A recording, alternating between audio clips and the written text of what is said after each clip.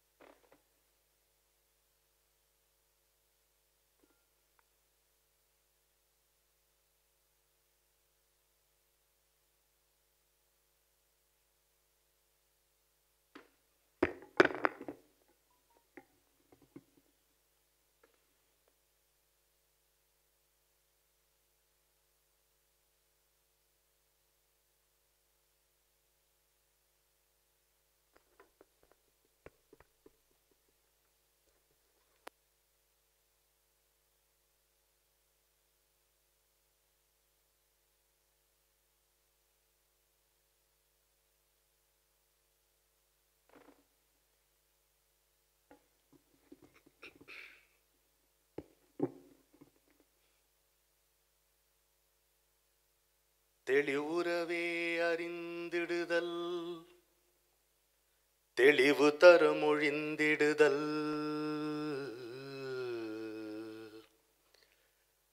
தெளிவுறவே அறிந்திடுதல்.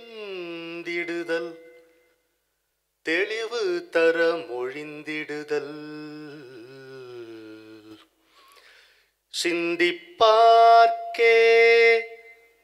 களிவளர உள்ளத்தில் ஆனந்த கனவு பல காட்டல். சிந்திப்பார்க்கே உள்ளத்தில் களிவளர ஆனந்த கனவு பல காட்டல். கண்ணீர் துளிவர உள்ளுருக்குதல் இங்கு இவையெல்லாம் நீ அருளும் தொழில்களன்றோ இங்கு இவையெல்லாம் நீ அருளும் தொழில்களன்றோ ஒளி வளரும் தமிழ்வாணி அடியனேக்கு இவை அனைத்தும் உதவுவாயே.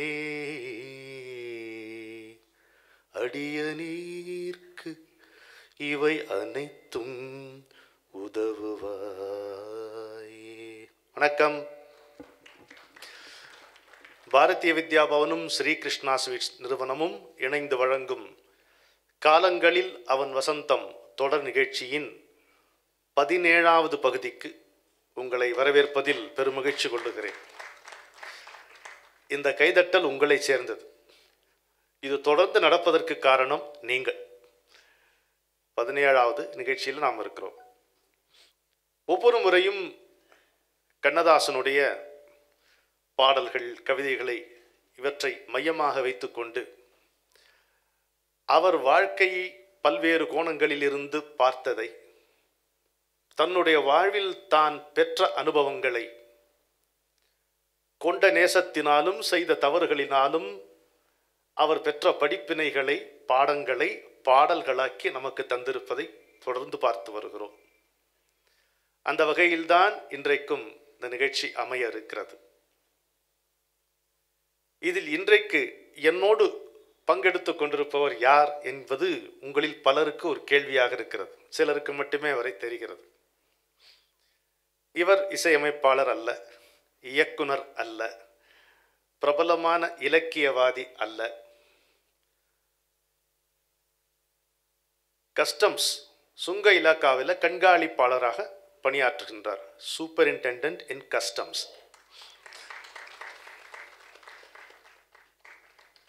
ஒரு குடும்ப தலைவி. அதை விட ஒரு பெரிய தகுதி எனக்கு இருப்பதாக படவில்லை. மூன்றாவது இரண்டு அரிய ஆங்கில நூல்களை தமிழிலே மொழிபெயர்த்திருக்கிறார். அது ஒன்று. நான்காவது இவரும் நானும் சேர்ந்து குரோம்பேட்டையில் ஒரு நிகழ்ச்சி கண்ணதாசனை கொண்டாடுவோம்னு ஒரு நிகழ்ச்சி. அதற்கு காரணம் என்னுடைய தோழி எங்கள் மாலினி பாலாஜி எங்கே காணும். ஆ இருக்காங்க எங்கேயோ. ஆ அதோ. அவர்கள்தான் எனக்கு திருமதி அனுராதா ரமேஷ் அவர்களை அறி அறிமுகம் செய்து வைத்தார். அந்த நிகழ்ச்சி எனக்கு சிறப்பாக இருந்தது. அதாவது பொதுவாக பிரபலமானவர்கள் வரும்பொழுது இருக்கின்ற அந்த பாங்குக்கும் இவர் தன்னை வெளிப்படுத்தி கொண்ட விதத்துக்கும் வேறுபாடு இருந்தது ஒரு ரசிகையின் வெளிப்பாடாக இருந்தது. ரசனையின் வெளிப்பாடாக இருந்தது. சரி உடனே எனக்கு உங்களை தெரியும் என்பதனால் இங்கே இவர்களை அழைத்து வந்தால் நீங்கள் இன்னும் இதை ரசிப்பீர்கள் என்பதால் இவரை அழைத்து வந்தேன்.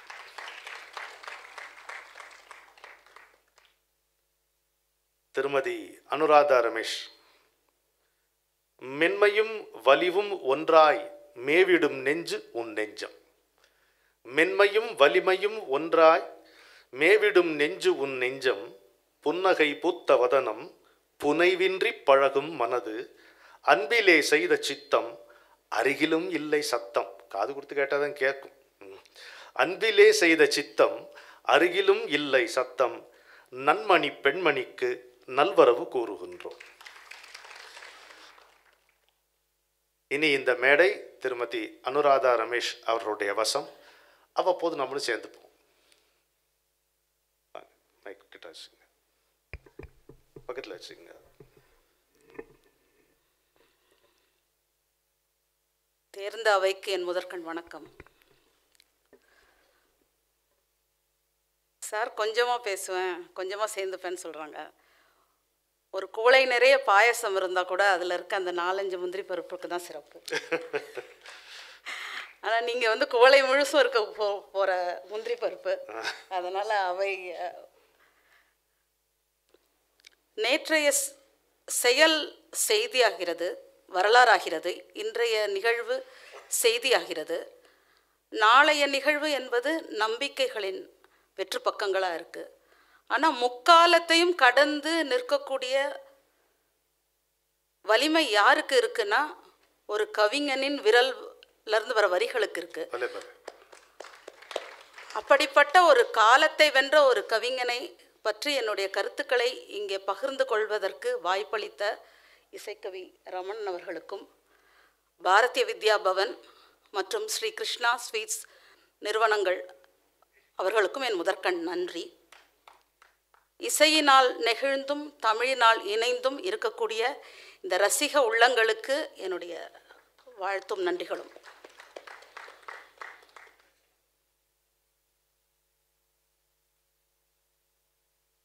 கண்ணதாசன் நிறைய தத்துவ பாடல்களுக்காக பேர் போனவர்.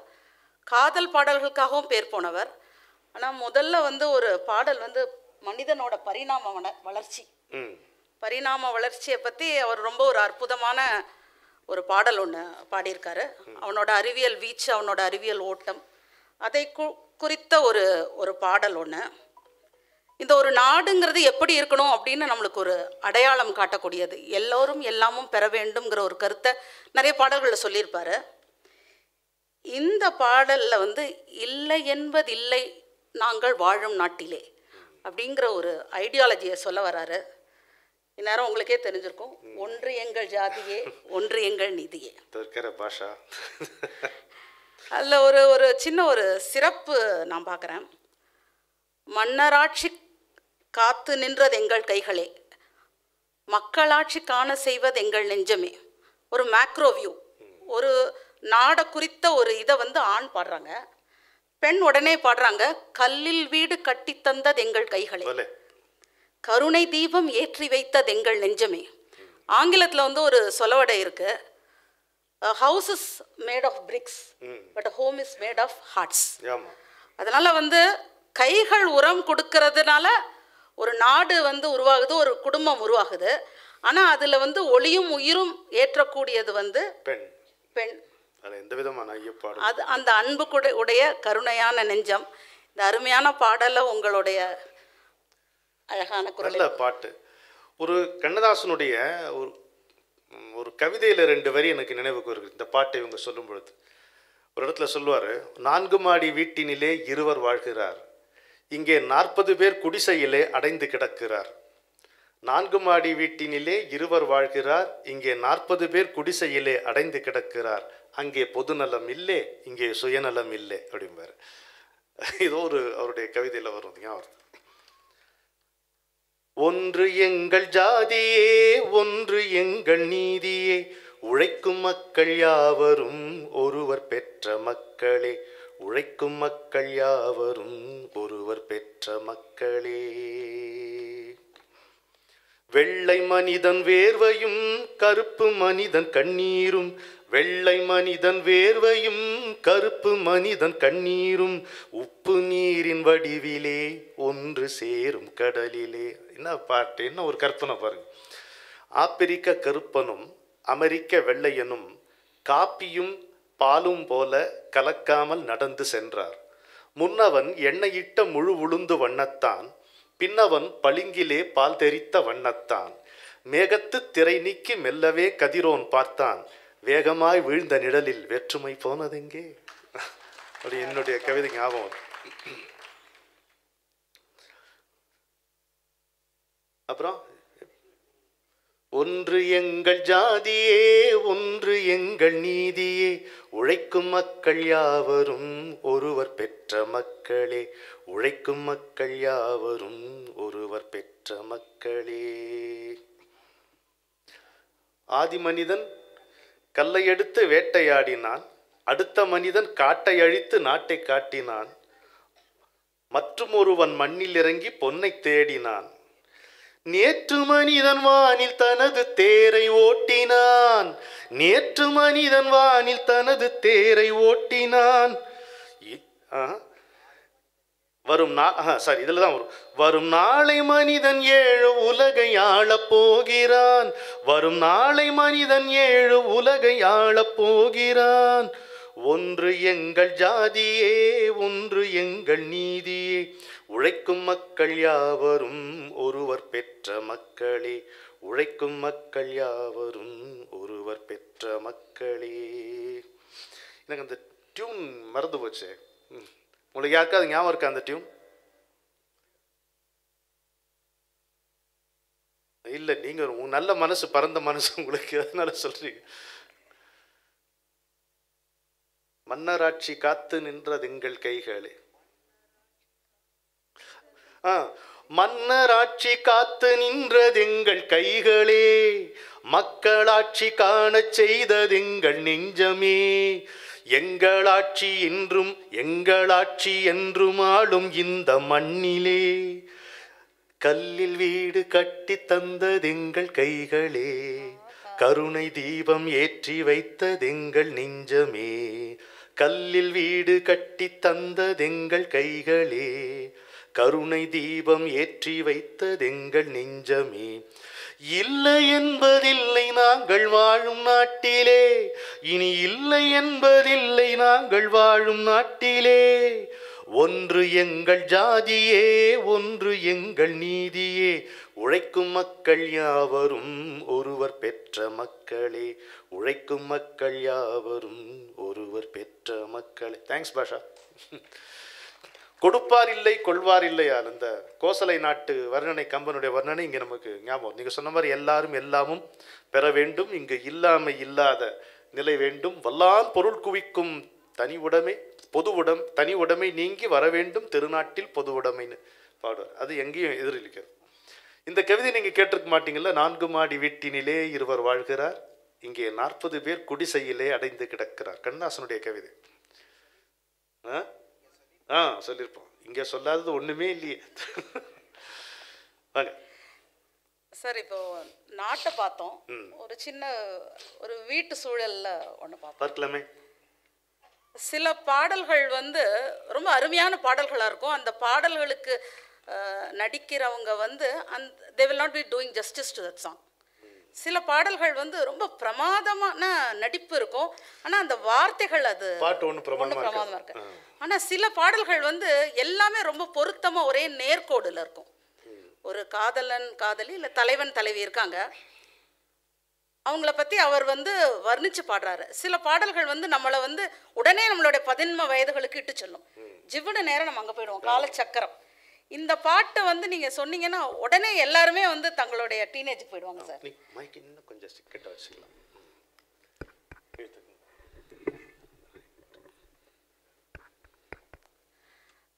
கூந்தல் நிறைய பூச்சரம் அதில் தாழம்பூ ஜடை மான்விழி உடைய பெண் அதில் நாணமும் காதலும் போட்டி போடுற ஒரு பார்வை. அந்த பார்வையோட காதலனை நோக்கி அவங்க நடந்து வராங்க. அப்போ அவர் பாடுறாரு யாரால தான் இவ்வளோ ஒரு அரு அழகான பெண்ணை பார்க்கும்போது கவிதை உள்ளம் ஊற்றெடுக்குது. முத்தமிழே முக்கனியே மோக வண்ணமே முப்பொழுதும் எப்பொழுதும் நமது சொந்தமே.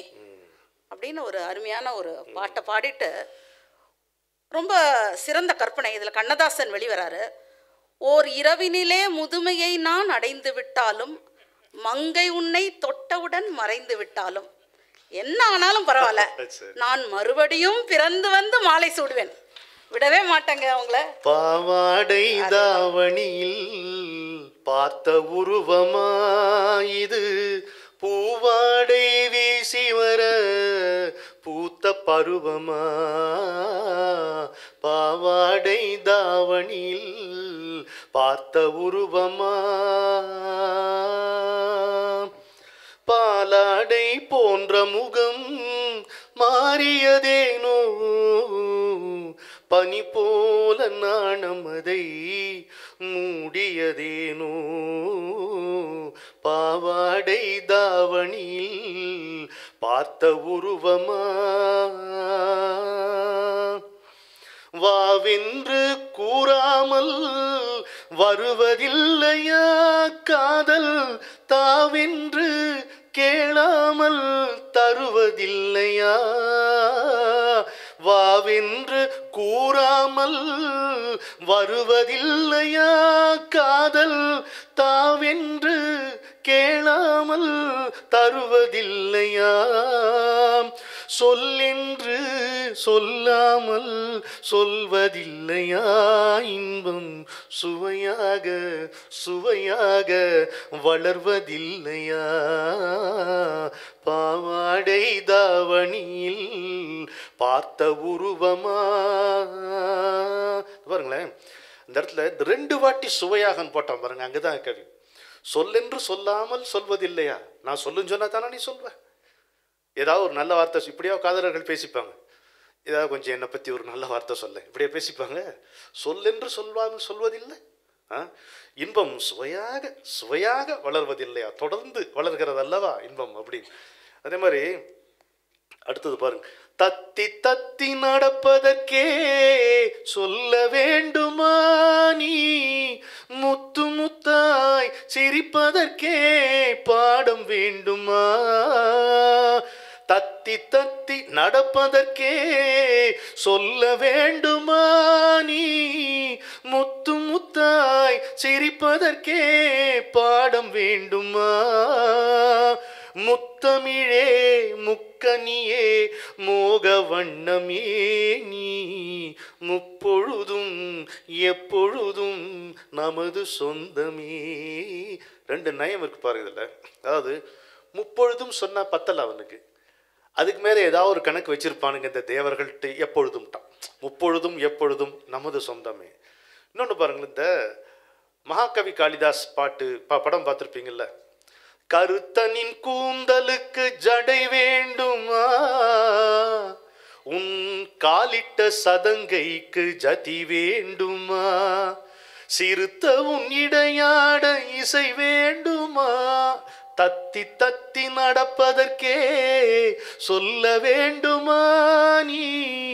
முத்து முத்தாய் சிரிப்பதற்கே பாடம் வேண்டுமா? எப்படி ஒத்து வருது பாருங்க. அவ்வளோதானே ஏன்ப்பா கை தட்ட மாட்டீங்களா இங்க? பழக்கம் விட்டு போச்சு. சார் எல்லாரும் அவங்கவங்க தாவணி கனவுகள்ல இருக்காங்கன்னு நினைக்கிறேன். ஓ சரிதா சரிதா சரிதா கரெக்ட் பாரு. எங்கே என் காலமெல்லாம் கடந்து விட்டாலும் ஓர் இரவினிலே முதுமையை நான் அடைந்து விட்டாலும் மங்கை உனை தொட்டவுடன் மறைந்து விட்டாலும் நான் மறுபடியும் பிறந்து வந்து மாலை சூடுவேன். பாவாடை தாவணியில் பார்த்த உருவமா? பிரமாதம். ஆ. இங்கே இந்த சங்கப்பலகைகளுக்கு எதிரையே உட்காந்து பழக்கம். அங்கே ஒன்று இங்கே ஒருத்தர் இருக்கிறாரு. எங்கள் ஐயா லட்சுமணன் ஐயா. இதுதான் இந்த நிகழ்ச்சியினுடைய சுவாரஸ்யமே. யாரோ வந்து ஒரு மேடையில் உட்காந்து நான் உங்களுக்கு சொல்லுகிறேன் கேளுங்கள். அது மாதிரி இல்லாமல் ஒரு பார்ட்டிசிபேட்டிவாக இன்டராக்டிவாக நாங்கள் ஒருத்தர் ஒருத்தர் மனசு விட்டு பேசிப்போம். அதுக்கு எங்களுக்கு ஒரு பெரிய இடம் தேவைப்பட்டது. இது கொடுத்துருக்காங்க. அவ்வளோதான் வாங்க. இதில் இன்னொன்று இதை ஒரு சொல்லலாம்னு நினைக்கிறேன். கவிஞர் கண்ணதாசனுடைய ஒரு கவிதை எவ்வளோ அழகாக இங்கே பொருந்தது பாருங்க. அவருடைய ஒன்று இரண்டு ரெண்டு சேர்ந்த தொகுதி. அதில் வருது இந்த கதை. இதே காதல் அவர் எப்படி சொல்கிறார் ஆசைக்கு நாணம் ஒரு தடையா? காதல் அனலுக்கு வெட்கம் ஒரு சுவரா? எப்படா இருக்க முடியும்ன்றார் ஆசைக்கு நாணம் ஒரு தடையா? காதல் அனலுக்கு வெட்கம் ஒரு சுவரா? காளை மீசைக்கே உதடான பின்னர் இன்ப மிச்சத்தை மறு தக்கால் நிற்பதுண்டோ? தோல் சிக்கி கிளியானாள். தோய்ந்த மார்பின் சுவைப்பட்டு தேனூரக் கனிந்த மாது பாசத்தில் உலகத்தை மறந்தே போனாள். இவன் பாடத்தை முடிக்காமல் படித்தான் காளைகிறார் பாசத்தில் உலகத்தை மறந்தே போனான் பாடத்தை முடிக்காமல் படித்தான் காளைகிறார் என்ன அற்புதமா தமிழ் விளையாடுது பாருங்க விருத்தம். செல் என்கின்றது நாணம் நெல். என்கின்றது ஆசை. ஆமா விட்டு செல். நில்லடி என்றது நாணம் விட்டு செல்லடி என்றது ஆசை. அது வாலி. சரிதானா? ஆ? ஆ. இது இப்போ பாடின பாட்டு வாலி பாட்டு. ஒரு நாள் யாரோ என்ன பாடல் எண்ணி தந்தார்? ம். For once I am right அதை அப்ரிஷியேட் பண்ண மாட்டேங்கிறீங்க சார் பயணங்கள் முடிவதில்லை அப்படின்னு சொல்லுவாங்க. நிறைய பயணங்கள் நம்ம வாழ்க்கையில செய்றோம். இதுல இந்த மாட்டு வண்டி பயணம்ங்கிறது வந்து ஒரு பெரிய ஒரு சுகானுபவம். ஆமாம் அது அனுபவிச்சவங்களுக்கு வந்து அதோடைய சுகம் தெரியும். தமிழ் திரை இசை பாடல்களே நிறைய மாட்டு வண்டி பாடல்கள் இருக்கு. மாட்டு வண்டி பயணத்தில் ஒன்று அனுஜி. சொல்லுங்க. அதாவது இப்போ அந்த கட்டுரை எழுதும்போது சுகானுபவமாக இருக்கு. அந்த வில்லு வண்டியில் உட்காந்துட்டோமோ அடிமையில் தலை அடிச்சுட்டு இருக்கும்போது அப்போ அந்த சின்ன வயசில் அது பெரிய மண்டையா ரொம்ப படக்கூடிய வாய்ப்பு உண்டு. அது ஒரு தமாஷ். அதோட பயன் தான் இவ்வளோ ஒரு இசைக்கவியா எங்களுக்கு கிடைச்சிருக்காங்கன்னு நினைக்கிறேன். அதுல அந்த மாட்டு வண்டியில இது இன்னும் வித்தியாசமானது. ஒரு அழகிய பெண் வந்து அந்த மாட்டு வண்டியை வந்து ஓட்டிட்டு போறாங்க. அந்த பாடலை வந்து நீங்க கேட்கும்போது நீங்களே வந்து அந்த மாட்டு வண்டியோடைய பயணம் பண்ற ஒரு உணர்வு தருவாங்க. அவங்க ஒரு ஒரு ஒரு ஒரு சின்ன ஒரு அவசரமும் அவங்களோட இதில் இருக்கும். அவங்களோட காதல் அனுபவத்தை நம்மக்கிட்ட சொல்லுவாங்க. அதில் வந்து அ- அருமையா சொல்லிட்டாரு அவரு. அதாவது அவ அவங்களோட மனக்குளத்தில் முதல் கல்லெறிந்த கல்வன் அவன் பத்தி பேசுறாங்க. முதல் முதல் திருடும் காரணத்தால் முழுதாய் திருட மறந்து விட்டேன்னு அவருக்கு ஒரு பதில் சொல்றாங்க. அவர் திருடன்னு நினைச்சாங்க.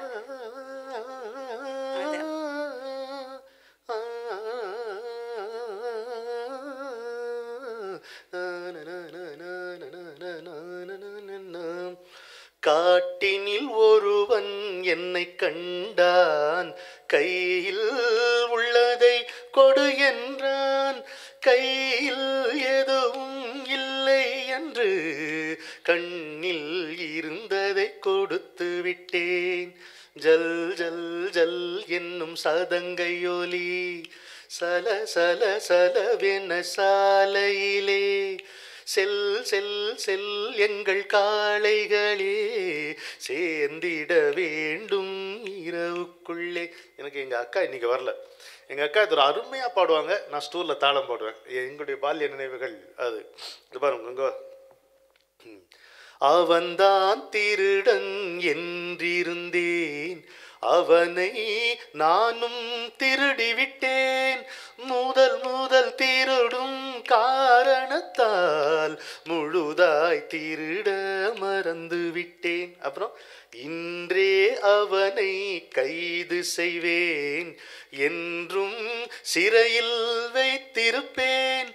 விளக்கம் சொல்லவும் முடியாது. விடுதலை என்பதும் கிடையாது. இதான் என் நட்பு. இதுதான் காதல். விளக்கம் சொல்லவும் முடியாது. விடுதலை என்பதும் கிடையாது. என்ன பொருள் பாருங்க.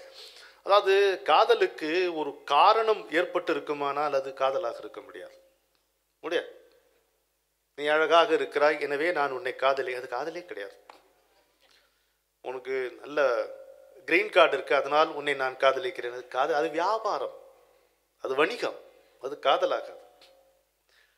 சந்தித்த வேளையில் சிந்திக்கவே இல்லை தந்துவிட்டேன் என்னை. வாலி பாட்டு வாலி பாட்டு இருமலர்கள் என்ன இருமலர்கள் அது வாலி பாட்டு ஆமாம் ஆ சாரி சாரி சந்தி இது நெஞ்சிருக்கும் வரை நெஞ்சிருக்கும் வரை. கரெக்ட் கரெக்ட் சந்தித்த வேளையில் சிந்திக்கவே இல்லை தந்து விட்டேன் என்னை. எப்படி எப்படி சிந்திப்பா? நான் வந்து மன்னிக்க வேண்டுகிறேன் போயிட்டேன். எப்படி சிந்தி என்ன மன்னிக்க வேண்டுகிறேன்? எப்படி சிந்திப்பான் சிந்தித்தால் தன்னை தந்திருக்க முடியாது. எனவே விள இன்னொன்று ஒரு நல்ல நட்புக்கும் சரி காதலுக்கும் சரி எந்த விதமான ஒரு சின்ன நெருடலோ ஒரு உறுத்தலோ ஏற்பட்டாலும் விளக்கங்கள் தேவைப்படக்கூடாது. விளக்கங்கள் தேவைப்படுமானால் அது நல்ல நட்பா அல்ல. இவன் செய்ய மாட்டாயா நீ அவனை பற்றி அவனை ஒன்று முட்டாள் சொல்லு. ஆனால் அவன் பொய் சொல்ல மாட்டான். அப்படின்னு நண்பன் நிற்பான் நமக்கு சப்போர்ட்டிவாக நிற்பான் அவனுக்கு விளக்கங்கள் தேவைப்படாது. விளக்கங்கள் நம்புவோர்க்கு விளக்கங்கள் தேவையில்லை. விளக்கங்கள் தேவைப்பட்டால் நண்பர் இல்லை. அப்போனா நண்பருக்கு அப்படின்னா இப்போ காதலுக்கு எப்படி? அதனால் விளக்கம் சொல்லவும் முடியாது விடுதலை என்பதும் கிடையாது என்பதை நான் சாதாரண வரிகளாக எடுத்துக்கொள்ளவில்லை கண்ணதாசனுடைய வரிகளில் என் வாழ்க்கையை உ- வாழ்க்கையினுடைய போக்கை சரியாக அளவுக்கு நிர்ணயம் செய்த வரிகளில் அந்த இரண்டு வரிகள் இருக்கும். விளக்கம் சொல்லவும் முடியாது விடுதலை என்பதும் கிடையாது. அப்படித்தான் எவ்வளவு நண்பர்கள் நமக்கு வாய்க்கிறார். சின்ன கருத்து சொல்ல சொல்லுங்க சொல்லுங்க. இது வந்து ஒரு வித்தியாசமான ஒரு ரொம்ப துடிப்பான பெண்ணை. அவரை வந்து திருடன்னு நினைக்கிறாங்க. ஆனால் இவங்க திருடிக்கிட்டாங்க. இவங்க திருடிக்கிட்டு அவருக்கு தண்டனை கொடுக்குறாங்க. அவருக்கு தண்டனை கொடுத்துட்டு நான் வந்து சுங்க இலாக்கால இருக்கிறதுனால சொல்கிறேன் ஒருத்தர் கைது செஞ்சால் அதுக்கான காரணம் சொல்லணும். இல்லைன்னா கைதுக்கு வந்து it is not valid arrest பண்ணும்போது அதுக்கான ரீசன் சொல்லணும். கட்டாயம் ஆனால் இவங்க கைது பண்ணுறாங்க வாழ்க்கையிலே வந்து பிணை. பிணை. கைதியே ஆக்கிட்டாங்க. ஆனால் காரணம் சொல்ல மாட்டாங்க. அது ஒரு சுவையான ஒரு இது. இது விடுதலையே கிடையாது. முழுசாய் திருட மறந்து விட்டேன் ஏன் சொல்றான் இந்த பொண்ணு? கொஞ்சம் யோசிச்சு பாருங்க இப்பதான் எனக்கு நீங்க பேசும்போது தோணுது. முதல் முதல் திருடும் காரணத்தால் முழுசாய் திருட மறந்து விட்டேன். அப்புறம் இன்னொரு வாட்டி வர திருடுவாங்களா என்ன? ஒரு கல்யாணம் வாட்டி தான்.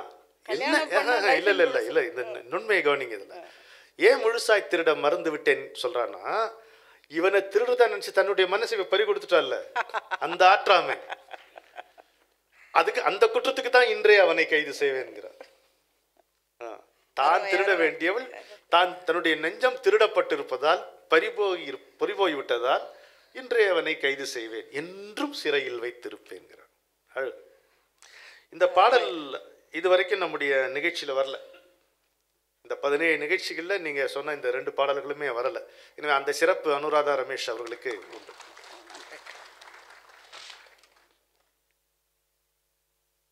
நம்ம முக் முப்பொழுதும் எப்பொழுதும் அப்படின்னு நம்ம பார்த்தோம். மு முக்காலங்களையும் கடந்த ஒரு காதல். அதை வந்து இவங்க சுவையாக வந்து இந்த பாடலில் வந்து சொல்லுவாங்க. காக்கும் கரங்கள் படத்தில் ஒரு அருமையான பாடல் ஒன்று நேற்றைய பொழுது கண்ணோடு. உன்னை பற்றிய நினைவுகள் அந்த கனவுகள் என் கண்ணோடு இருக்கு. இன்றைய பொழுது கையோடு. கையோடுங்கிறது இப்போ இருக்கிற தருணத்தையும் குறிக்கலாம். தலைவனும் தலையும் சேர்ந்து இருக்கவாசி இணைந்த கைகளையும் குறிக்கலாம். கையோடு. நாளைய பொழுதும் உன்னோடு. அவங்களோட நம்பிக்கை நீ தான் எனக்கு எப்போதுமே நாளைக்கும் நீ தான் கடைசி வரைக்கும் நீ தான் அப்படின்னு சொல்லிட்டு மிக சுவையாக மூன்று காலங்களையும் நீ தான் என்னை ஆக்கிரமிச்சிருக்க அப்படின்னு சொல்கிற ஒரு அருமையான ஒரு பாடல். இலக்கிய மரபில் வந்து இற்றைக்கும் ஈரேழ் பிறவிக்கும். எப்போதுமே இந்த இணை வந்து பிரியாமல் இருக்குங்கிற ஒரு இதில். இதை நீங்கள் சொல்லும்போது அதான் ஒருத்தர் பக்கத்துல இருந்து சொன்னா தான் நமக்கு ஒரு நயம் புலப்படும். நேற்றைய பொழுது கண்ணோடு. கண்ணோடு. இன்றைய பொழுது கையோடு. நாளைய பொழுதும் உன்னோடு நிழலாய் நடப்பேன் பின்னோடு. இல்லையா? அப்போ காதலுடைய வளர்ச்சி எப்படி கண்ணோடு தான் இருக்கு. கண்ணோடு பிறந்தது காதல். அதனால கண்ணோடு இருக்கு முதல்ல. அப்புறம் ஒரு ஒரு அணுக்கம் ஒரு நெருக்கம் ஏற்படுகிறது கையோடு. அது கூட இல்லை சிறப்பு. நாளைய பொழுதும்னு ஒரு உம் ஒரு உண்மையை வச்சான் பாருங்க. காளிதாசனுக்கு அவ- காளிதாசனுடைய வாழ்க்கையில் நடந்த ஒரு நிகழ்ச்சியை சொல்லுவாங்க. ஒரு உள்ளூர் கவிஞர் வந்து காளிதாசன்ட்டு ஒரு கவிதையை சொல்கிறாராம் வானில் நிலவு குழைந்திருந்தது. அவனும் அவளும் சேர்ந்திருந்தார்கள். இரவும் முடிந்தது இரவும் முடிந்தது இவர்கள் மட்டும் பிரியவே இல்லை அப்படின்னு அவன் கவிதை சொன்னானான் இவன் வந்து சுண்ணாம்பு தடவிந்தாராம் வெத்தலைக்கு. சுண்ணம் கொஞ்சம் அதிகண்டா அப்படின்னாராம். உண்மைக்கு வடமொழியில் சுண்ணம்னு சொல்லுவாங்களாம். கொஞ்சம் சுண்ணம் அதிகம்னா என்னென்ன? டேய் என்னடா இரவும் முடிந்தது? இரவு இரவு தான் முடிந்தது. இரவு தான் முடிந்ததுன்னு சொல்லிப்பார் என்ன அழகாக இருக்கும் நான் கண்ணதாசன். அதே மாதிரி நாளைய பொழுதும் உன்னோடு என்னும் பொழுது நேற்றைய பொழுது கண்ணோடு இருந்த பொழுதே நான் உன்னோடு தான் இருந்தேன். இன்றைய பொழுது கையோடு இருக்கும் பொழுதும் நான் உன்னோடு தான் இருக்கிறேன். நாளைய பொழுதும் உன்னோடு. நிழலாய் நடப்பேன் பின். பெண்ணோடு. ஞாயிறு என்பது கண்ணாக திங்கள் என்பது பெண்ணாக செவ்வாய் கோவை பழமாக சேர்ந்தே நடந்தது அழகாக உம், உம். நேற்றைய பொழுது கண்ணோடு இன்றைய பொழுது கையோடு நாளைய பொழுதும் முன்னோடு நிழலாய் நடப்பேன் பின்னோடு. ஊருக்கு துணையாய் நான் இருக்க எனக்கொரு துணையை எதிர்பார்த்தேன். உள்ளத்தின் கோவிலில் விளக்கேற்ற மைவிழி கிண்ணத்தில் நெய் வார்த்தி நான் ஒரு ஓமை பாருங்க இது. இப்போ போய் பாடும்போது ஏன் புரியுது? உள்ளத்தின் கோவிலில் விளக்கேற்ற மைவிழி கிண்ணத்தில் நெய் வார்த்தேன். அதாவது ஒரு அன்பினுடைய வெளிப்பாடு என்பதே கண்ணில் ஏற்படக்கூடிய அந்த கண் பனிப்பு. அது அது நெய் வார்த்தேங்கிறானே அந்த விஸ்காசிட்டி இருக்கும்பொழுது தான் அந்த கண்ணினுடைய பளபள பழகாக தெரியும். இல்லையா? புன்கணீர் பூசல் தருங்கிறார் வள்ளுவர் அன்புடைமையில். புன்கணீர் அன்பிற்கும் உண்டோ அடைக்கும் தாய் சொல்கிறார் புன்கணீர் பூசல் தரும். அது காட்டி கொடுத்துரும். அந்த கண்ணீர் துளி அந்த பனித்த கண்கள் moist eyes they will betray your love அப்படிங்கிறார் வள்ளுவர். ஆ, அது எப்படி வச்சுருக்காங்க பாருங்க. மைவிழி கிண்ணத்தில் நெய் வார்த்தைன்றானே. எங்கேயோ கொண்டாடப்பட வேண்டிய கவிஞனை நம்ம அப்படி அலட்சியமாக எடுத்துட்டு போயிட்டோங்க உள்ளத்தின் கோவிலில் விளக்கேற்ற மைவிழி கிண்ணத்தில் நெய் வார்த்தேன். ஞாயிறு என்பது கண்ணாக திங்கள் என்பது பெண்ணாக செவ்வாய் கோவை பழமாக சேர்ந்தே நடந்தது அழகாக. ஏன் ஞாயிறு கண்ணு திங்கள் பெண்? ம்? பெண் வந்து பார்க்க குளுமையானவள் தான். திங்களாத்தான் இருக்கணும். ஆனால் வம்பு பண்ண சுட்டெரிக்கக்கூடிய கதிரவனாக அவளுடைய கண்கள் திறக்கும். அதனால ஞாயிறு என்பது கண்ணாகும் ஆ. செவ்வாய் கோவை பழமாக சிவப்பா இருக்கு வாய் அதனாலயா செவ்வாய் கோவை பழம்? அப்படிங்கிறான் நல்ல சொற்களே இனிய சொற்களே சொல்வது. மங்களமான சொற்களே சொல்வது. நாணம் கலந்த சொற்களை சேர்த்து சொல்வது. அதனால அது சிவந்திருக்கிறது. முன்னூறு பிறவி எடுத்திருந்தேன். உன்னிடம் மனதை கொடுத்திருந்தேன். பின்னொரு பிறவி எடுத்து வந்தேன். பேசியபடியே கொடுக்க வந்தேன். இந்த பாருங்க. நான் இங்கே இதே மேடையில் சொல்லியிருக்கேன் இந்த கருத்தை. இதை கண்ணதாசனும் சொல்லியிருக்காங்கிறது இன்றைக்கி தான் எனக்கு தெரிஞ்சுக்கிட்டேன். நான் அடிக்கடி சொல்வதுண்டு சில பேர்கிட்ட நமக்கு டக்குன்னு நெருக்கமாக பழகிடுறோம். இல்லையா பாஷா? இல்லையா கிருஷ்ணன்? ம் உட்கார் உட்கார். டக்குன்னு அப்படி இப்போ இங்கே உட்காரு கிருஷ்ணன். அதெல்லாம் பரவாயில்ல அங்கே பேக் பெஞ்சுக்கு பயங்கர போட்டி அங்கே. நீ ராஜாராம தாண்டி உட்காரணும் போய். அதாவது சில பேர் நம்ம சரளமாக பழகிடுறோம். ரொம்ப நாள் பழகின மாதிரி இருக்கே அப்படின்னு நம்ம வேறு நடுவில் ஒரு வசனம் வர சொல்லி பார்க்குறோம் நம்ம என்ன நினைக்கிறோம்?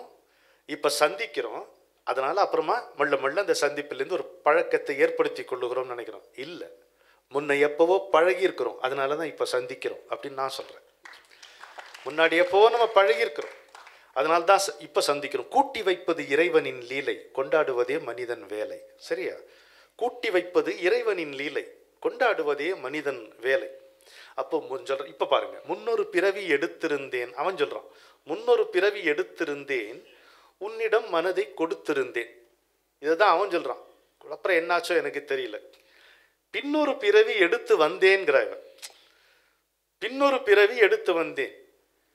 பேசியபடியே கொடுக்க வந்தேன். என் மனதை நீ வச்சதுனால எங்கிட்ட கொடுத்ததுனால உனக்கு நான் என்னென்னலாம் தரேன்னு சொல்லியிருந்தேன் அந்த பிறவியில். நீ எங்கேயோ காணாமல் போயிட்ட நான் தாண்டா உன்னை தேடி வந்தேங்கிறான். பின்னொரு பிறவி எடுத்து வந்தேன் பேசியபடியே கொடுக்க வந்தேன். ஒரு சின்ன பாடலுக்குள்ள எவ்வளவு இலக்கிய நயம் இதயத்தினுடைய ரேகைகள் எவ்வளவு தென்படுகிறது பாருங்க. அருமை. ரொம்ப நன்றி அனுராதாஜி. நீங்க நல்ல நல்ல இன்னும் ஒரு பாடல்களா எடுத்து கொடுத்தீங்க. ஒரு சின்ன ஒரு கருத்து சொல்லுங்க தாராளம். இதுலயும் வந்து அந்த இந்த இது அருமையா சொன்னீங்க. ஆணோட இது பெண் வந்து அவங்க பிறவியும் தாண்டி வந்து தன்னுடைய இதை கொடுக்க வராங்கன்னு. அதுக்கு முந்தின ஒரு பேரால கூட ஆண் என்ன சொல்றாரு? ஊருக்கு துணையாய் நான் இருக்க எனக்கொரு துணையை எதிர்பார்த்தேன். அவர் வந்து இந்த சமூகத்துல வந்து ஒரு பெரிய. மருத்துவரா இருக்காரு. அதனால ஊருக்கு ஊருக்கு உயிர் தரக்கூடிய ஒரு வல்லுனரா இருக்காரு. ஆனா அவருக்குன்னு யார் இருக்கான்னும் போது தன்னுடைய தலைவியை நாடி வர்றாரு. ஆமா. ஆனா அந்த அம்மா இன்னும் ஒரு படி மேல போயிட்டாங்க. உள்ளத்தின் கோயிலில் விளக்கேற்ற இவர் வந்து ஒரு உற்ற துணையை நினைக்கிறாரு. அவங்க அவரை தெய்வமா நினைக்கிறாங்க. உள்ளத்தில் கோயிலில் விளக்கேற்ற மைவிழி நெய்வார்த்து. நெய்வார்த்து. என்னோட கண்ணுங்கிற இது ஒளியினால விளக்கேற்றி உங்களை என்னோட இதயத்துல தெய்வமா வணங்கினேன் சொல்லிட்டு ஒரு அடுத்த ஒரு தளத்துக்கு போறாங்க. பெண்ணை பத்தி பெண் சொன்னாதான் அழகா இருக்கு.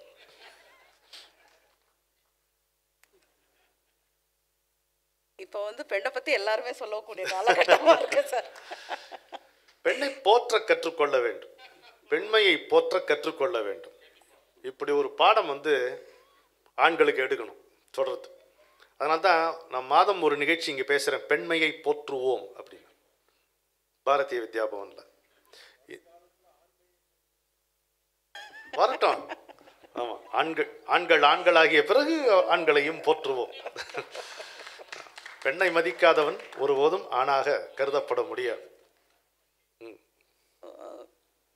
கவியரசர் வந்து வாழ்க்கை தத்துவங்களை வந்து ஒரு சின்ன சின்ன டேப்லெட்ஸாக ஒரு தம் ரூல்ஸ் மாதிரி நிறைய சொல்லுவார் சார். அப்படி சொல்லும்போது ஒரு ரெக்கரிங் தீம் ஒன்று இருக்கும். அதாவது நல்ல வளமாக வாழக்கூடிய நேரத்தில் வந்து இருக்க மனிதர்கள் வந்து நம்ம வந்து வளமை குறைந்து ஒரு ஒரு ஒரு தவிப்பான ஒரு நேரத்தில் வந்து விட்டுட்டு போயிடுவாங்க அப்படிங்கிற ஒரு ஒரு ஆதங்கத்தை அவர் நிறைய பாடல்களில் சொல்லியிருப்பார். வாழும் நாளிலே கூட்டம் கூட்டமாய் வந்து போ போகிறார் பாரடா கை வறண்ட வீட்டிலே உடைந்த பானையை மதித்து வந்தவர் யாரடா? இந்த மாதிரி ஒரு அண்ணன் என்னடா தம்பி பூனைகளும் சொந்தமடா சோதனைய பங்கு வச்சா சொந்தமில்லே பந்தமில்லே. அதுவும் வரும். குளத்துல தண்ணி இல்ல கொக்கும் இல்ல மீனும் இல்ல பொட்டி இல்ல பணம் இல்ல பெத்த புள்ள சொந்தம் இல்ல. சும்மா சொல்லி பார்த்தாலே நல்லா இருக்கு பாருங்க. என்ன? ஆமா எங்க ஊர் ராஜா? ஆமா. பழனி ஆமா. ஆமா. சார் கம்ப்யூட்டர் ரேம் கூட நம்ம ஃபீட் பண்ண கொஞ்சம் நேரம் எடுக்கும் போல இருக்கு. சார் அப்படியே அப்படியே டக்கு டக்குன்னு அடிக்கிறாரு. பதினேழு நிகழ்ச்சினா நான் பதினேழு வாட்டி சங்கப்பலகை ஏறி இருக்கேன் தெரியுமில்ல உங்களுக்கு? நான் படுற பாடு யாருக்கு தெரியும்? எனக்கு தான் தெரியும். ஸோ அந்த ஒரு ரீதியில் தர்மம் தலை காக்கும்ல ஒரு பாடல் இருக்கு சார் அருமையான பாடல். உங்களுடைய வெண்குல குரலிலே கேட்கணும்னு ஆசைப்பட்டோம். ஒருவன் மனது ஒன்பது இவர் கேவிஎம் உடைய மியூசிக் அருமையா இருக்கும்.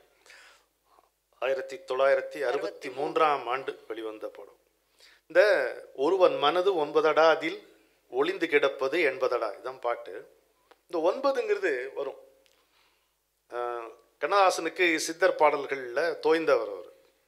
அதனால் இந்த ஒன்பது துவாரம். நவத்வாரம். நவத்வாரம். அது அடிக்கடி அவருக்கு வரும். ஒன்பது பொந்தை வைத்தான் உள்ளே ஓர் பறவை வைத்தான். என்னடா புத்திசாலி இவன் எவனிடம் பாடம் கற்றான்? அப்படின்னு நான் ஒரு வாட்டி சொன்னேன். அப்போ இந்த கவியரங்கத்துக்கு தலைமை வகித்தவர். இல்லையா? கரூர் சித்தர் வேற மாதிரி சொல்றாரே தம்பின்னாரு என்னன்னு. ஒன்பது துளை இருந்தும் ஒழுகவில்லையே ரசம் அப்படின்னாரு. ஒன்பது வாசல் ஒரு படகு என்னடி விந்தை இது? ஒன்பது வாசல் ஒரு படகு என்னடி விந்தை இது? மின்னலும் இடியும் மோதும் கடலில் என்னடி பயணம் இது? தங்கமே ஏதடி துடுப்பும் இங்கு? இதெல்லாம் வந்து தெய்வம் தந்த வீடு பாட்டு கேட்டதுனால எங்களுக்கு பாதிப்பு எங்கள் டீனேஜில். எப்படி வரும். இங்கே என்னவா சொல்கிறா பார்த்தீங்களா மனசு சின்னது தான் ஆனால் அதில் பிறைகள் துளைகள் அதிகம். கையளவு உள்ளம் வைத்து கடம் கடல் போல் ஆசை வைத்தான் இல்லையா? இவ்வளோதான் இருக்கு. எல்லாருக்கும் கைப்பிடி இதயம் தான். ஆனால் அதில் பல பிறைகள் இருக்கின்றன. அதில் பல விஷயங்கள் ஒளிந்து கிடக்கின்றன. அப்படி வெட்ட வெளிச்சம் பட்டவர்த்தனமாக காண்பிக்கக்கூடிய நல்ல குணங்களை பலரும் கொள்வதில்லை. ஒரு நல்ல குணம் தலை தூக்கும் பொழுதே ஒரு ஒரு துர்குணம் வருகிறது. அதை மறைச்சு மறைச்சு வச்சிருக்கிறான். இதானே ஹியூமன் சைக்காலஜியே சொல்கிறார் முழுக்க முழுக்க நல்லவனும் இல்லை முழுக்க முழுக்க கெட்டவனும் இல்லை.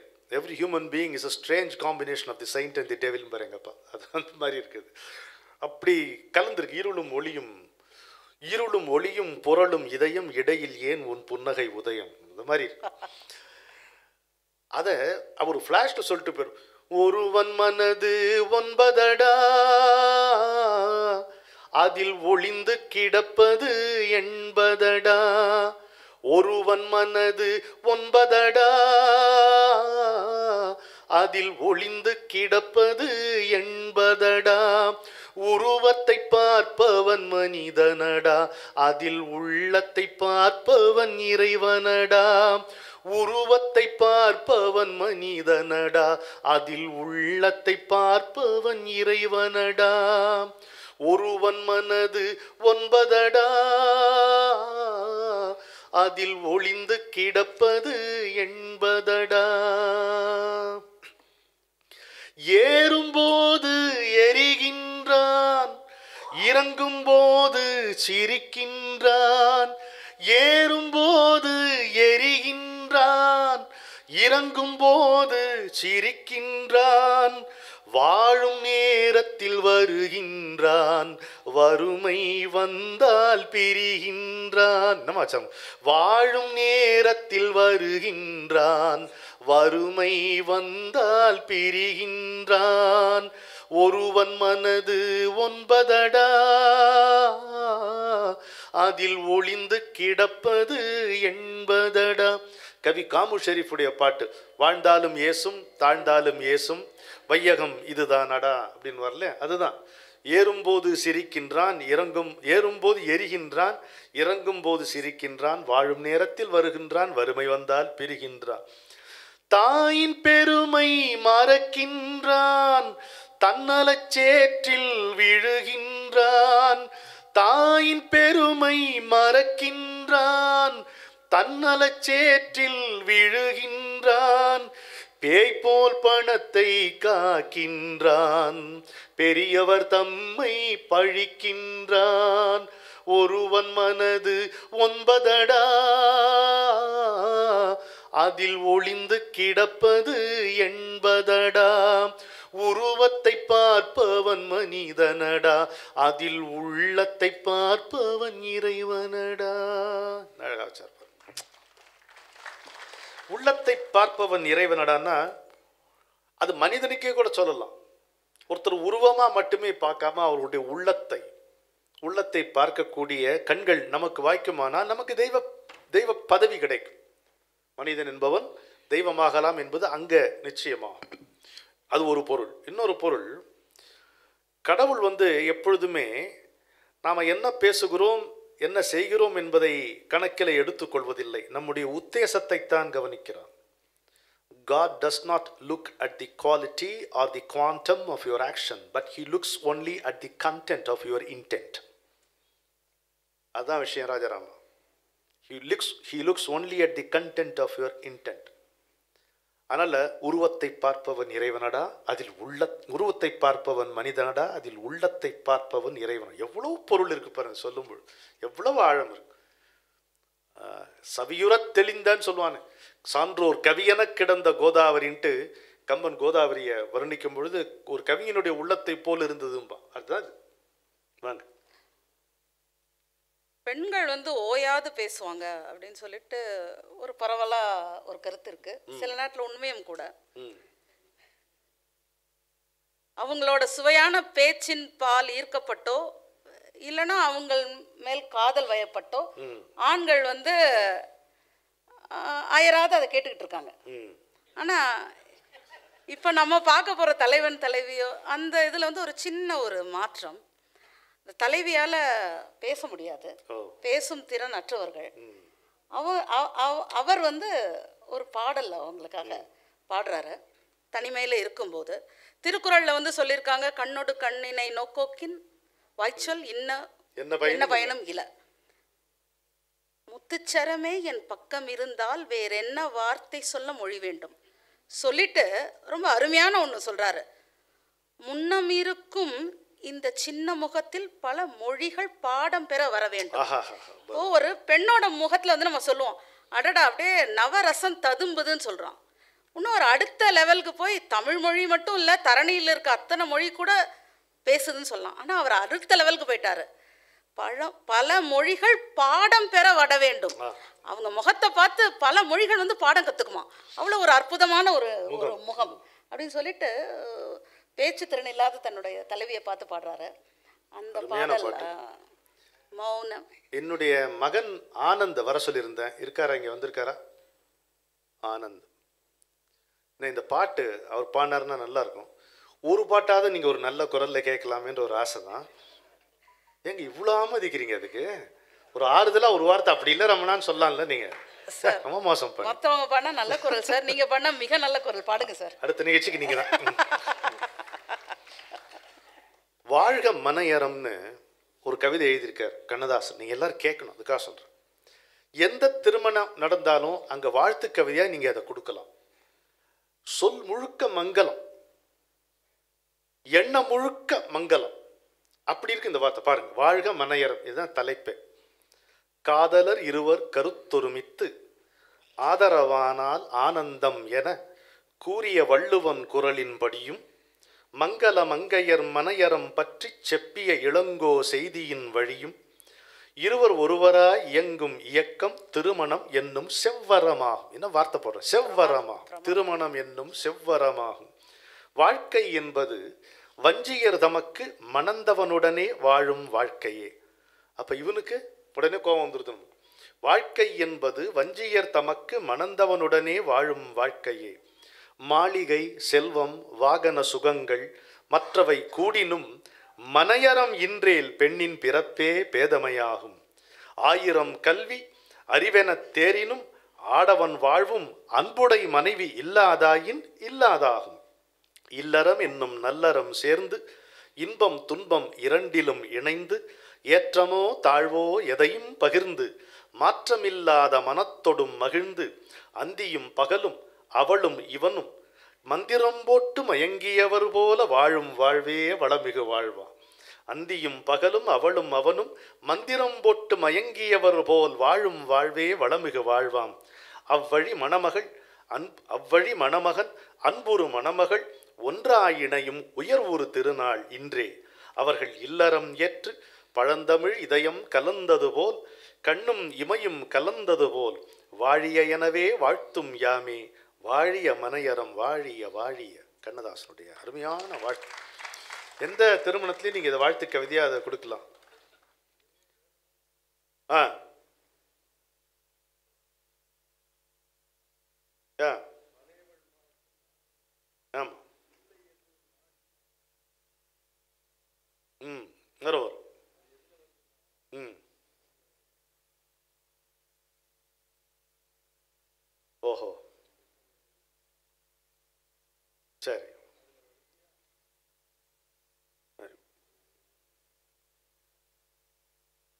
ம் ஆமாம் அல்லிக்கொடியே உந்தன் முல்லை இதழும் தேனாறு போல பொங்கி வர வேண்டும் வர வேண்டும். அங்கம் தழ் அங்கம் தழுவும் வண்ண தங்க நகை போல் என்னை அள்ளி வரலையே எனக்கு இது ஒரு பத்து நிமிஷம் வெயிட் பண்ணலாம். பையன் வந்தான் அவன் நல்லா பாடுவான். அடுத்த பாட்டுக்கு போயிடலாம்.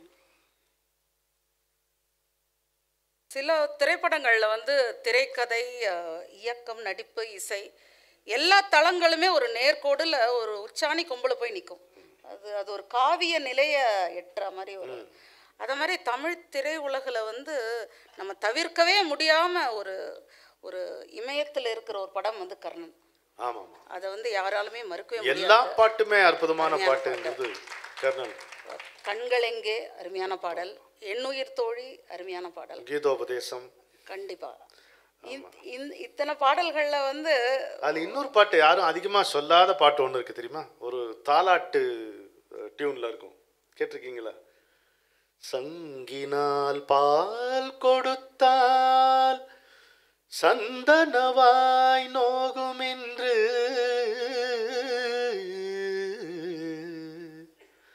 தந்தத்தால் சங்கு செய்தேன் தாலேலோ.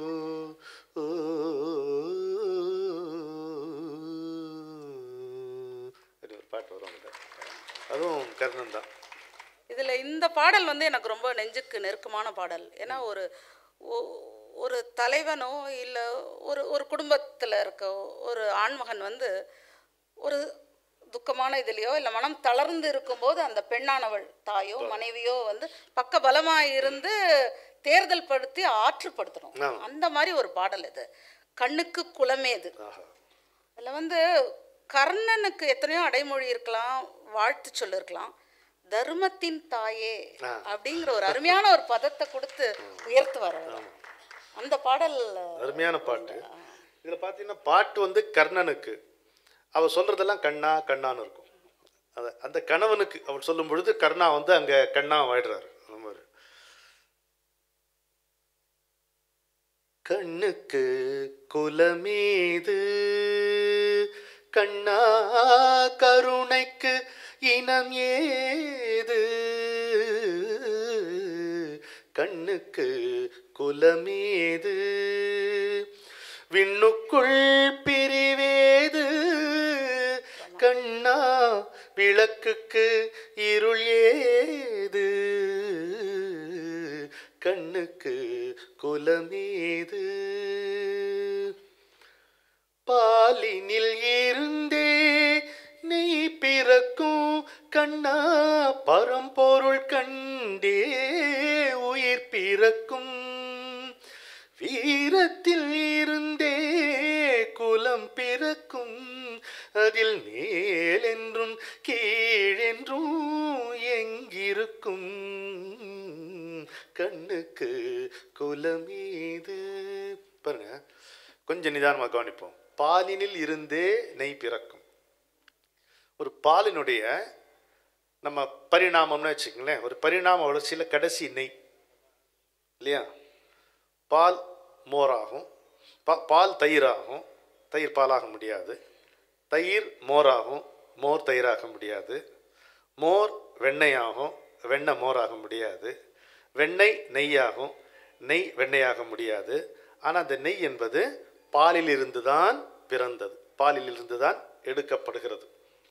பாலினில் இருந்தே நெய் பிறக்கும். அப்படி இந்த வீரத்தில் இருந்தே குலம் பிறக்கும். நம்ம குலத்தில் இருந்து வீரம் நினைக்கிறோம். இல்லை. இல்லை. இயல்பு தவறி விருப்பம் விளைதல் இயல்வதன்றாம் பாரதி.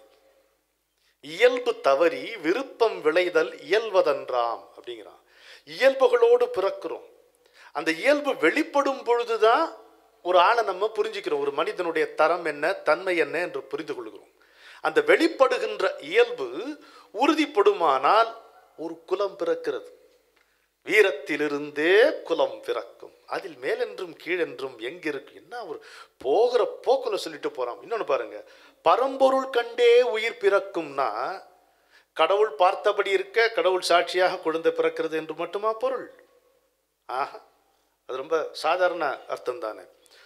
பிறக்கக்கூடிய ஒவ்வொரு குழந்தையும் சாங்கிய யோகம் கபில முனியுடைய சாங்கிய யோகத்தில் வருகிறது. கர்ப்பத்தில் இருக்கும் பொழுது அந்த குழந்தை கடவுளை நினைக்கிறது கடவுளை காண்கிறதுங்கிறார். எல்லா குழந்தைகளுக்குமே அந்த தெய்வீகம் என்பது தெரிகிறது. இங்கே ஒரு சிறையிலே நாம் சிக்கி கொண்டு விட்டோம் அப்படின்னு சொல்லி கோகம் கோகம் என்று கேட்கிறதாம். அப்போ வந்து இறைவன் வந்து அதை சொல்லி சோகம் நானே அவன் என்று சொல்லு அப்படிங்கிறான். அப்போ அது வந்து தலையை தலையை ஆட்டுதான் உள்ளே. இந்த ஜெயிலேருந்து என்னை சீக்கிரம் விடுவிச்சிரு. நான் வந்து இனிமே வந்து உன்னை நான் மறக்கவே மாட்டேன். சோகம் சோகம் சொல்லி பார்த்துட்டேன். நானே அவன் நானே அவன் சொல்லி. இனி நான் வெளியில் வந்துடுறேன். இந்த சிறையிலிருந்து ஒரு பக்கம் நீரும் ஒரு பக்கம் நெருப்பும் இது புரள கூட இடம் இல்லாமல் ஒரு இடத்துலேருந்து என்னை விடுவிக்குன்னு சொல்லிட்டு அந்த மனித ஆன்மா சொல்லுதான். இறைவன் சிரித்தபடி சரிங்கிறானா அந்த குழந்தை வெளிவருகிறது. கர்ப்பவாசம் விட்டு ககனத்தின் காற்று பட தர்பயன ஞானம் தணலாச்சே. இந்த புறக்காற்று இந்த சிரசின் உச்சியில் பட்ட மறுகணம். அதனுடைய நினைவுகள் எல்லாம் போச்சு. அந்த சோகம் போய் கோகம் கோகம் நான் யார் நான் யார்னு கேட்கலாம். பரம்பொருள் கண்டே உயிர் பிறக்கும். இறைவனை பார்த்தபடிதான் பார்த்து விட்டுத்தான். இறைவனை பார்த்து விட்டுத்தான் ஒவ்வொரு குழந்தையும் உலகில் பிறக்கிறது. பிறந்த கணமே அதை மறந்து விடுகிறது. பிறகு வாழ்க்கை முழுதும் அந்த இறைவனை திரும்பச் சேர்வதற்கான வாய்ப்பாக மாறி மாற்றிக்கொள்ளுகிறது தான் விஷயம். நம்மை தொட்ட இறைவனை நாம் தொடுவதற்காக வழங்கப்பட்ட வாய்ப்புத்தான் இந்த வாழ்க்கை. பரம்பொருள் கண்டே உயிர் பிறக்கும். எப்படி இருக்கு? நம்மை தொட்ட இறைவனை நாம் தொடுவதற்காக வழங்கப்பட்ட வாய்ப்பே இந்த வாழ்க்கை. ஜூட் தொட்டுட்டு போயிடுவோம் ஞாபகம் இருக்கா? அப்புறம் ஓடி ஓடி குடிச்சுன்னு அம்பேல் கிம்பேல்லாம் சொல்லி அப்போ கடைசியில் ஜூட் அவனும் வந்து தோணும் இவ்வளோதான் வாழ்க்கை. அவனுக்கும் நமக்கும் நடுவில் வருது. அதான் இந்த கண்ணுக்கு குலமீது பாட்டில் பிரதானியமாக நம்ம கொடுப்பவரெல்லாம் மேலாவார் கையில் கொள்பவரெல்லாம் கீழாவார்ங்கிறது வந்து தமிழ் அறத்துக்கு ஒத்து வராது. இங்கே அந்த அந்த கர்ணனை சமாதானப்படுத்துறதுக்கு சரியாக இருக்கும். அவன் தன்னுடைய ஒரு குலத்தை குலத்தை முன்னிட்டு தன்னை பழித்து விட்டார்கள். தாயை பெற்ற தாயே தன்னை கைவிட்டால் அந்த அந்த சோகத்தில் இருப்பதுனால தருபவன் இல்லையோ கண்ணாணி தர்மத்தின் தாயே கலங்காதே என்று அவனை தேர்தல் சொல்லுகிறாளே தவிர இது கவனமாக வாங்கிக்கணும். இது தெரியாதவர் அல்ல கண்ணதாசன். தெரிந்து தான் இதை போட்டிருக்கார்.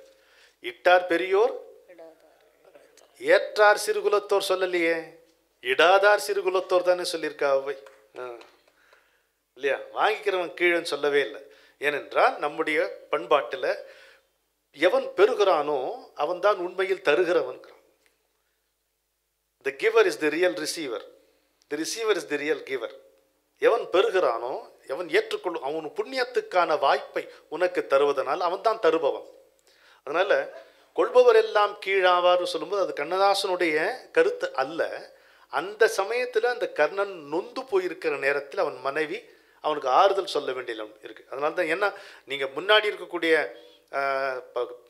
ஸ்டான்ஸால் இருக்கக்கூடிய அந்த லாஃப்டினஸ் அந்த உயிர் இதில் நீங்கள் பார்க்க முடியாது. இது வந்து கீழே இறங்கி பரம்பொருள் கண்டே உயிர் பிறக்கும் பாலிலிருந்தே நெய் பிறக்கும் வீரத்திலிருந்தே குலம் பிறக்கும் எப்படி வச்சிருக்காங்க. இங்கே கொடுப்பவர் எல்லாம் மேலாவர் போது சமாதானம் செய்வதற்காக சொல்லப்பட்ட வார்த்தை என்று எனக்கு தோன்றுகிறது.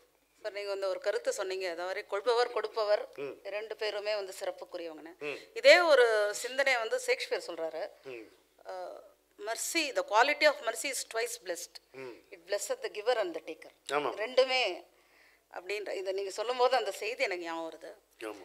ஓ ஷேக்ஸ்பியரை பற்றி சொன்னோம். ஷேக்ஸ்பியரோட ரோமியோ அண்ட் ஜூலியட்ல இருந்து ஒரு இரண்டு வரிகளை வந்து கையாண்டதா கண்ணதாசனே அவர் ஒரு நேர்முக நிகழ்ச்சியில் சொல்லியிருக்காரு. அதாவது அந்த வரிகளால் கவரப்பட்டு இதை தமிழ் இதயங்களுக்கு கொண்டு வந்திருக்காரு. அந்த ரோமியோ ஜூலியட்டோட லைன் என்னன்னு கேட்டிங்கன்னா ரோமியோ வந்து சொல்கிறாரு sleep dwell upon thine eyes peace in thy breast would I were sleep and peace so sweet to rest ஓ. இது வந்து நிறைய பேர் நேரம் புரிஞ்சிட்டு இருப்பீங்க. தூக்கம் உன் கண்களை தழுவட்டுமே அமைதியுன் நெஞ்சில் நிலவட்டுமே. அந்த பாடல் வந்து இந்த தாக்கத்தினால வந்தது. அது அவரே வந்து சொல்லியிருக்காரு அந்த மரபு இதுல தூக்கு ரொம்ப அருமையா காலையில் நான் ஓர் கனவு கண்டேன். அதை கைகளில் இங்கே எடுத்து வந்தேன். அது காலையில்? கட்டாயம் பலிக்கணும் அர்த்தம். அதிகாலையில் கண்ட கனவு. பலிக்கக்கூடிய கனவை தான் நான் உங்ககிட்ட கொண்டு வந்தேன். பலிக்கக்கூடிய கனவு என்னவா இருக்கும்? நீ நல்லா இருக்கணும் அப்படிங்கிறதா இருக்கும். நீ நல்லா இருக்கணும் நீ வாழ்க்கையில் உயரணும். இதுதான் இருக்கும். காலையில் நான் ஓர் கனவு கண்டேன். அதை கைகளில் இங்கே எடுத்து வந்தேன். எடுத்ததில் ஏதும் நனன குறைந்து விடாமல் நனன கொடுத்து விட்டேன் உந்தன் கண்களிலே. கண்களிலே கண்களிலே. ஏன் கண்களிலே? கொடுத்து விட்டேன்னா உன் கைகளில் தானே இருக்கும். பாருங்க அவளுடைய உயர்வை. நான் கனவு கண்டேன்ல அதை அப்படியே உன் கண்களுக்கு டிரான்ஸ்ஃபர் பண்ணிடுறேன். நீ காணு அந்த கனவை. அப்போ தான் அதனுடைய அருமை உனக்கு தெரியும். கைகளில் கைகளில் நான் கொடுத்துட்டேன்னா அது நான் கண்ட கனவை உனக்கு கொடுத்ததாகும். உன் கண்களுக்கு அதை நான் திருப்பி விட்டேன்னா நீயே ஆ நான் தான் அப்படின்னு நினச்சிக்குவான் அவன். நினச்சிக்கணும் அந்த சந்தோஷத்தை விட்டு தூக்கம் உன் கண்களை தழுவட்டுமே. அமைதி உன் நெஞ்சில் நிலவட்டுமே அந்த தூக்கமும் அமைதியும் நானால் என்றும் தொடர்ந்திருப்பேன் என்றும் துணை துணை இருப்பேன் தானே வரும். மனம் என்னும் மாளிகை திறந்திருக்க மையிட்ட கண்கள் சிவந்திருக்க. ஏன் சிவந்திருக்கு? விழிச்சு விழிச்சிருக்கு. ராத்திரி முழுக்க தூங்கல இவனுக்காக இவனை தூங்க வைக்கணுன்றதுக்காக. மனம் என்னும் மாளிகை திறந்திருக்க மையிட்ட கண்கள் சிவந்திருக்க இருக்கரம் நீட்டி நனன திருமுகம் காட்டி நனன தவழ்ந்து வந்தேன் நான். உன்னிடமே தவழ்ந்து வந்தேன் நான். உன்னிடமே லலலலா லல லலலலலா லலலலலா லலலலலா கண்ணதாசன் தலைவன் தலைவன் தலைவியை வந்து ஒரு மகனாவோ மகளாவோ ஒருத்தர் ஒருத்தர் தாய் பாவத்துல பாக்குறது. அந்த மாதிரி நிறைய உண்டு இந்த இதுல கூட தவழ்ந்து வந்தேன் நான் உன்னிடமே. ஆமா தவழ்ந்து வந்தேன் தவழ்ந்து. வந்தேன்றாங்க. அது அவரு ஆண் பாடும்போது உன்னை பிள்ளையை போலே நான் என் மேனியில் உன்னை பிள்ளை போலே வாரி அணைத்தேன். ஆசையின் ஆசையின் அது இன்னொரு இடத்துல காதலன் பாடும்போது என்னை கொஞ்சம் தூங்க வைத்தால் உறங்குவேன் தாயே. இன்று மட்டும் அமைதி தந்தால். அருமையான பாட்டு. ஆமா, பாரு. எம்ஜிஆர் பாடல்கள் பா பாரு பார்க்கும்போதே இல்லை கேட்கும்போதே ஒரு தனியான ஒரு ஒரு துள்ளல் உணர்ச்சி வரும். அது காரணம் அவருடைய துடிப்பான நடிப்பு கண்ணதாசனோட வரிகள். இந்த மாதிரி நிறைய ஒரு கொள்கை விளக்க பாடல்கள் அப்படின்னு சொல்ற பாடல்கள்லாம் நிறைய இது பண்ணியிருக்காரு. இதுல ஒரு ஒரு சின்ன சுவாரஸ்யம் நீங்க கவனிச்சிருப்பீங்க. வாலி நிறைய எம்ஜிஆருக்கு பாடல்கள் எழுதியிருக்கார் கண்ணதாசன் எழுதியிருக்காரு. அந்த கொள்கை முழக்கம் பிரச்சார நெடிங்கிறது கண்ணதாசன் பாட்டில் இருக்காது. தனியாகவும் நிற்கும் அது அது அவருடைய தனிச்சிறப்பு. இது தேவைப்படாமலே அது எழுதக்கூடிய ஆற்றல். வாலி வாலி பாட்டுலாம் அருமையான பாட்டு அதுலேயும் சந்தேகம் கிடையாது. அதுவும் நல்லா இருக்கும் ஆனால் வித்தியாசம்னு பார்த்தீங்கன்னா ஒரு ஒரு ஒரு கொள்கையுடைய விளக்கம் ஒரு தனி மனிதர் பிரசாரம் இல்லாமலேயே கண்ணதாசனுடைய பாட்டு உயர்வா நிற்கும் அது அவருடைய. நீங்கள் அதோ அந்த பறவை போல எடுத்து பாருங்க. ஒரு ஆளுமையோட இருக்கக்கூடிய ஒரு ஒரு ஒரு குணச்சித்திரமா எந்த மனிதருக்கும் அதை பொருத்தி கொள்ளலாம். அது மாதிரி இருக்கும். இப்போ இந்த பாட்டு வந்து ஒரு ரொம்ப இந்த சுவாரஸ்யமான ஒரு ஒரு வரி இருக்குதுல கலகத்தில் பிறப்பது தான் நீதி அப்படின்னு சொல்லிட்டு. மெசேஜ் கம்ஸ் ஃப்ரம் மெஸ் இருக்கின்ற வரையில் வாழ்ந்து விடு இரண்டினில் ஒன்று பார்த்து விடு. வாழ்க்கை வந்து அப்படிதான் வாழணும். அப்படி இப்படி பிளாக் அண்ட் ஒயிட் ஸ்ட்ரைட். அந்த மாதிரி ஒரு ஒரு நிமிர்வான ஒரு பாட்டு. ஆமா, அதேதான். வாழ்க்கையில் என்ன ஒரு பிரச்சனைனா வாழ்ந்து பார்த்தா தான் அதை புரிஞ்சுக்க முடியும். என்னதான் எத்தனையோ முன்னோர்கள் எவ்வளோ வாழ்ந்திருந்தாலும் அவருடைய வாழ்க்கை பதிவுகள் எல்லாம் நமக்கு படிப்பதற்கும் கேட்பதற்கும் கிடைக்கும் என்றாலும் நம்முடைய வாழ்க்கையை நாம் வாழ்வதன் மூலமே தான் புரிந்து கொள்ள முடியும். எப்படி கோச்சிங் மேனுவலை வச்சு நீச்சல் கற்றுக்க முடியாதோ? உள்ள குதிச்சு தண்ணியை குடித்து பிறையேறி தை- திட்டக்கூட முடியாது. தள்ளி விட்டுருவான். அப்போ இந்த தோட்ட கிணறுல தள்ளி விட்டு தான் நீச்சல் கற்றுப்பாங்க அப்போ. அப்புறம் அப்போ தலைமுடியை பிடிச்சி இழுப்பான். இருந்தது அந்த நாள். அப்போ உண்டு அப்போ உண்டு. அதை பிடிச்சி இழுப்பான் மேலே. அப்புறம் அவன் அப்போ திட்டு கூட வராது. ஒரே பிற அந்த மாதிரி. அதனால் வாழ்ந்தே தான் கற்றுக்கொள்ள முடியும் வாழ்க்கையினுடைய கோரமான நிதர்சனங்களோடு மல்யுத்தம் செய்து மார்புற தழுவி அதனால் பெறுகின்ற அனுபவங்கள் அந்த பாடங்கள் தான் நிலைக்கும். பட்ட காயங்கள் படும்போது வலித்தாலும் இன்று தொட்டு தடவினால் தழும்பெல்லாம் இனிக்கும். அப்படிதானே இருக்கும்?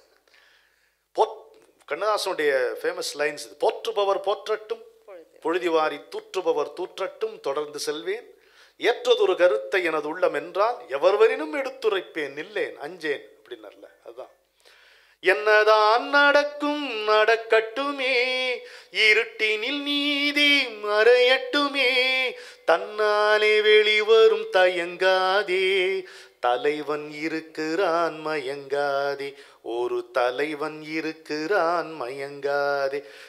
என்னதான் நடக்கும் நடக்கட்டுமே. இருட்டினில் நீதி மறையட்டுமே. தன்னாலே வெளிவரும் தயங்காதே.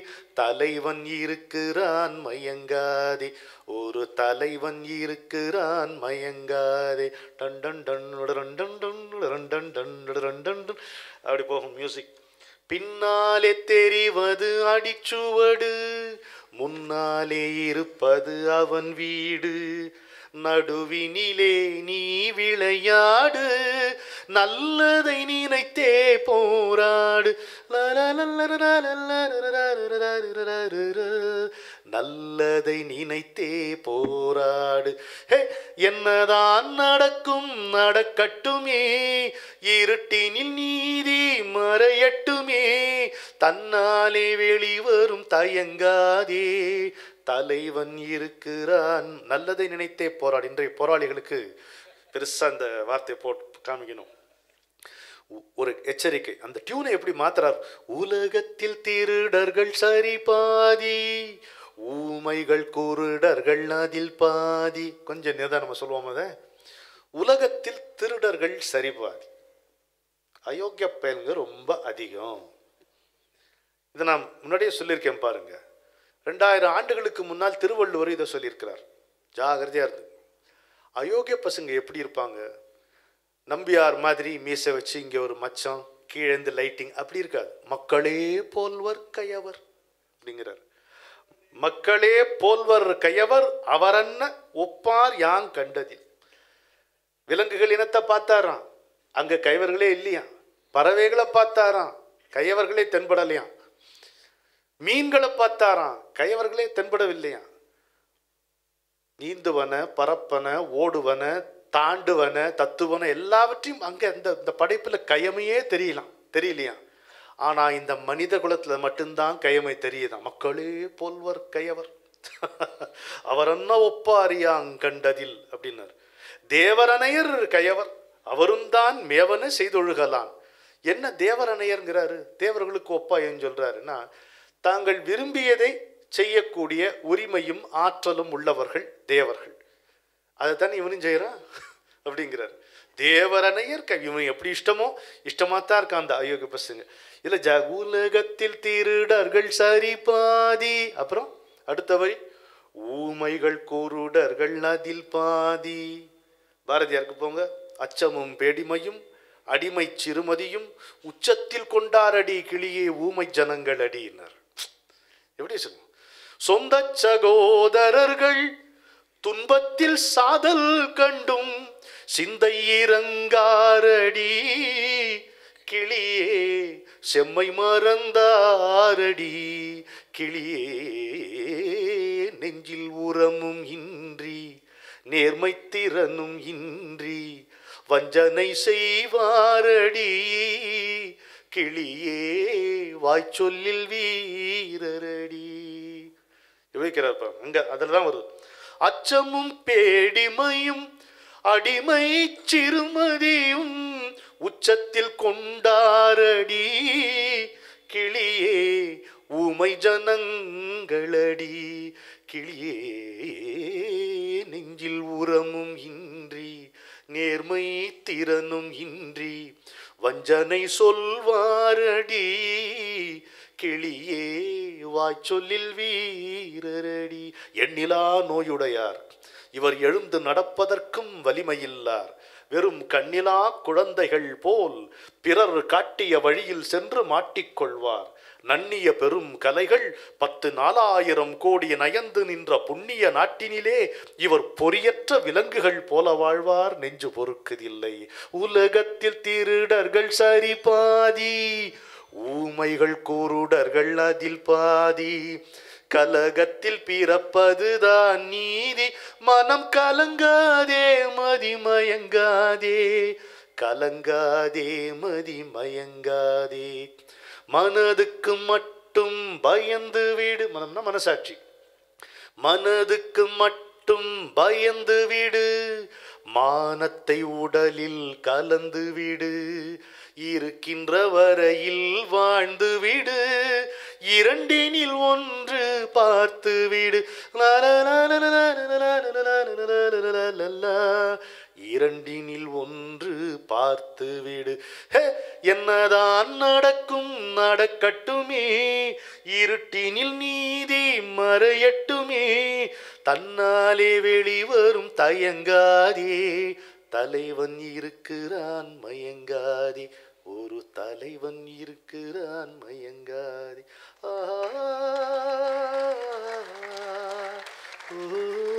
ஒரு சின்ன இரண்டு வரிகளில் நம்மளால் திருக்குறளை பார்க்க முடியுது பாரதியாரை பார்க்க முடியுது. அப்போ இந்த இந்த கவிஞனுடைய எவ்வளோ வீச்சு எப்- எப்படி எப்படிப்பட்டதுங்கிற புரிஞ்சுக்கலாம். இந்த நிகழ்ச்சியினுடைய நோக்கமே அதுதான் கண்ணதாசனை எதற்காக கொண்டாடுகிறோம்? நம்முடைய மண் மனம் எல்லாம் பாட்டில் இருக்கு. இந்த மண் சார்ந்த ஞானம் இந்த மண் சார்ந்த மோனம் இந்த மண் சார்ந்த யோகம் இந்த மண் சார்ந்த மாண்புகள் எல்லாம் அவன் பாட்டில் இருக்கு. இந்த மண்ணுக்கே உரிய மங்களங்கள் எல்லாம் அவனுடைய பாட்டில சலங்கை கட்டி கொண்டு வந்து கூத்தாடுகின்றன. அதனால தான் நம்ம கண்ணதாசனை கொண்டாடுகிறோம். தலைவனை பத்தி தலைவர் பாடினாரு. தலைவன் தலைவியை பத்தி நம்ம பேசுவோம் அடுத்து. இது ரொம்ப ஒரு சுவையான ஒரு காட்சி. காதல் வயப்பட்ட தலைவனும் தலைவியும் மறைப்பொருளா பேசிக்கிறாங்க. தலைவனுக்கு அவர் விரும்பின பெண்ணை பத்தின ஒரு பேச்சு வருது. உடனே இவங்க ரொம்ப குறும்பா கேட்குறாங்க யாருன்னு இவங்க கேட்குறாங்க உடனே அவங்க சொல்றாங்க ஓ மயங்க வச்சிட்டாளா. இவங்களுக்கு தெரியும் தன்னை தான் பற்றி தான் சொல்கிறாருன்னு ஆனாலும் ஒரு இதுவா அதில் பிரமாதமாக நடிச்சிருப்பாங்க சாவித்ரி மயங்க வைத்தாளோன்னாங்க இது அப்படியே வந்து அடுத்த அடுத்த நிலைக்கு எல்லாம் போ போயிட்டு கடைசியாக அவங்க சொல்லுவாங்க மஞ்சள் கொண்டாள் மலர் கொண்டாள் மனதை சேர்த்து ஏன் கொண்டான் அப்படின்னு ஒரு தாபத்தோட அந்த பாட்டை முடிப்பாங்க. ரொம்ப பிரமாதமான பாடல் அது. சலவை கல்லே சிலையாக தங்கப்பாளம் கையாக மலர்கள் இரண்டு விழியாக. மயங்க வைத்தாளோ? அப்படிதானே போவோம். யார் யார் யார் அவள் யாரோ? ஊர் பேர் தான் தெரியாதோ? யார் யார் யாரவள் யாரோ? ஊர் பேர் தான் தெரியாதோ? முத்து மணித்திரள் ரத்தினமோ? மொய்குழல் மேக சித்திரம் அதான் அதான். அதாவது இந்த கூந்தலை வந்து மேகம் சொல்லிட்டா அது பெருசு இல்லைங்க. மேகத்தில் சித்திரம் வரைஞ்ச மாதிரி இருக்கும்ல. எவ்வளோ ஒரு பெயிண்டிங்ஸ் நம்ம மேகத்தில் பார்க்கணும் மொய்குழல் மேக சித்திரமோங்கிறான். ஏன் அப்படி சொல்கிறான் காற்று இப்படி அசைஞ்சா மேகத்தினுடைய உருவம் மாறுதா? சித்திரம் மாறுதா? ஒரு தென்றல் காற்றில் இந்த கூந்தல் இப்படி மாறும். அப்போ வேற சித்திரம் தெரியும். ஆ? திரள் ரத்தினமோ மொய்குழல் மேக சித்திரமோ செக்கச்சி வந்த இதழாலே சிந்தும் புன்னகை மந்திரமோ. யார் யார் யார் அவள்? யாரோ? கண்கள் மயங்கும் கண்ணானாள் பெண்கள் மயங்கும் பெண்ணானாள் இன்னொரு இடத்துல சொல்லுவார் உன்னழகை கண்டு கொண்டால் பெண்களுக்கே ஆசை வரும். கண்ட பெண்ணுக்கே இப்படி என்றால் கம்பனுடைய சூப்பநகை வந்து சீதையை பார்த்துட்டு பாடுற மாதிரி இருக்கும் வரி. அதுலேருந்து எடுத்து அதை சொல்லியிருக்காரு. அதே தான் இங்கே. கண்கள் மயங்கும் கண்ணானாள் பெண்கள் மயங்கும் பெண்ணானாள் நினைவில் மயங்கும் பொருளானாள் நிலவில் மயங்கும் இருளா பின்னிட்டாங்க அங்கதான் கவி நிலவில் மயங்கும் இருளானாள்ங்கிறான். எவ்வளவு பெரிய வானம் எவ்வளவு சின்ன நிலவு. இதை அனுபவிங்க. எவ்வளவு பெரிய வானம். எங்க நின்னாலும் இந்த வானம் தான் பெருசா தெரியுது மொட்டை மாடியில் ஏறினா இன்னும் பெருசா. மலை முகட்டில் நின்னா இன்னும் பெருசா இருக்கு. நட்டனோட கடல்லேருந்து பார்த்தாலும் பெருசு பெருசா இருக்கு. ஒரே ஒரு நிலவு. அந்த ஒரு நிலவு எவ்வளோ வந்து பொட்டு வைத்த அந்த ஒற்றை நிலவு தன்னுடைய கற்றை விரிக்கும் கதிர்களால் இந்த வானத்தில் ஒரு இம்மி கூட பிசகாமல் ஒரு அங்குலம் கூட விடாமல் தன்னுடைய ஒளியை அமுத கிரணங்களை பரப்பி அதை நெகிழ்த்து வைத்திருக்கிறதே. நிலவில் மயங்கும் இருளானால். என்ன அழகாக வச்சிருக்கோம் அது மாதிரி அந்த ஒற்றை நினைப்பு காதல் என்கின்ற ஒரு நினைப்பு வந்தபோது வானமளவு இருக்கின்ற அந்த நெஞ்சத்தில் இண்டு இடுக்கெல்லாம் மூளை முடுக்கெல்லாம் வேறு எந்த எண்ணத்திற்கும் வாய்ப்பே இல்லாமல் இந்த காதலே பரவி அந்த நெஞ்சம் நெகிழ்ந்திருக்கிறது. அதனால்தான் நினைவில் மயங்கும் பொருளானால் நிலவில் மயங்கும் இருளானால். எவ்வளோ ஆழம் பாருங்க இந்த வரியில் ஒற்றை வரியில். மூணு வார்த்தையில் இவ்வளோ ஆழம் இருக்கு. அப்படி ரசிக்கணும் நம்ம. அஞ்சனம் கொண்டாள் நகை கொண்டாள் அச்சம் நாணம் மடம் கொண்டாள் மஞ்சள் குங்குமம் மலர் கொண்டாள் மனதை சேர்த்து ஏன் கொண்டாள்? யார் யார் யார் அவள் யாரோ? இவன் மலர் கொடுக்குறான். இவரே மஞ்சள் குங்குமம் மலர் எடுத்து அந்த அம்மாட்ட கொடுக்குறான். அதை வாங்கும்போது அவனுடைய மனசையுமே சேர்த்து வாங்கிக்கிறான். அது மட்டும் வாங்கிட்டு இருந்தா நல்லா இருந்திருக்குமே. இந்த பாவி பாய் உன் மனசையும் சேர்த்து வாங்கி இப்போ பார் உள்ள முழுக்க காதலாகி புண்ணாகி போகிறது வேற எந்த நினைப்பும் இல்லை மனதை சேர்த்து ஏன் கொண்டாள்? இதுதான் விளக்கம் அதுக்கு. வாங்க. மனதையும் சேர்த்து கொண்டவள். இதே ஒரு காதலை வந்து ஒரு கிராமிய மனம் வீசி நம்மளுடைய தமிழ் சமுதாயத்தோட அந்த மரபு வழி வந்த ஒரு பெண்மை. அது மாதிரி ஒரு பாடல் ஒரு. ஒரு ஆயிரத்தி தொள்ளாயிரத்தி ஐம்பத்தி ஒம்போதில் வந்தது. அந்த அந்த படத்தில் வந்து பார்த்தீங்கன்னா மண் பார்த்து விளைவதில்லை மரம் பார்த்து படர்வதில்லை. கண்ணியரும் பூங்கொடியும் கண்ணையா. பெண்கள் வந்து எப்படி வந்து ஒரு மண்ணை பார்த்து ஒரு கொடி வளர்றதில்ல. அது வந்து ஒரு கொழுக்கொம்பை வந்து தேடிடுது. அதே மாதிரி பெண் வந்து அது மாதிரி தான் அப்படின்னு சொல்லிட்டு ரொம்ப ஒரு அருமையான பாட்டு. அவர் வந்து அங்க குறைவு உள்ளவர். அது அது அது மானமே ஆடைகளாம் மரியாதை மரியாதை. பொன் நகையாம். நம்மளுடைய மரபு வழிய பெண்மை அது. இந்த பாட்டில் நீங்கள் சொல்கிற பெண்மை எனக்கு என்ன தோணுதுன்னா ஒரு திருமணம்னு வரும்பொழுது இன்னைக்கும் இன்னைக்கும் கூட அது பொருந்தும் தான். ஒரு பெண் செய்யக்கூடிய காம்ப்ரமைசஸ் தான் அதிகமாக இருக்கு. அவள் செய்து கொள்ள வேண்டிய அட்ஜஸ்ட்மெண்ட்ஸ் காம்ப்ரமைஸ் தான் அதிகமாக இருக்கு. அவன் நல்லா படித்தா அவனும் வேலைக்கு போகிறான் நம்ம சுதந்திர உலகம் எல்லாம் சொல்கிறோமே தவிர நீங்கள் நிறைய பெண்கள் பிறந்த வீட்டில் பிறந்த என் போன்ற ஆணுக்கு தான் அது தெரியும். பொண்ணு தான் அதிகமாக அட்ஜஸ்ட் பண்ண வேண்டியதாக இருக்குது அவள் தான் அதிகமாக காம்ப்ரமைஸ் பண்ணுறா அது அப்படி தான் இருக்கு. மண் பார்த்து விளைவதில்லை மரம் பார்த்து படர்வதில்லை. அங்கம் குறைந்தவனை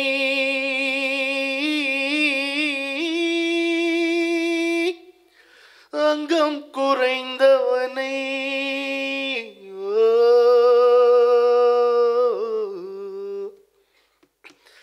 அங்கம் குறைந்தவனை அழகில்லா ஆண்மகனை மங்கையர்கள் நினைப்பதுண்டோ சொல்லம்மா?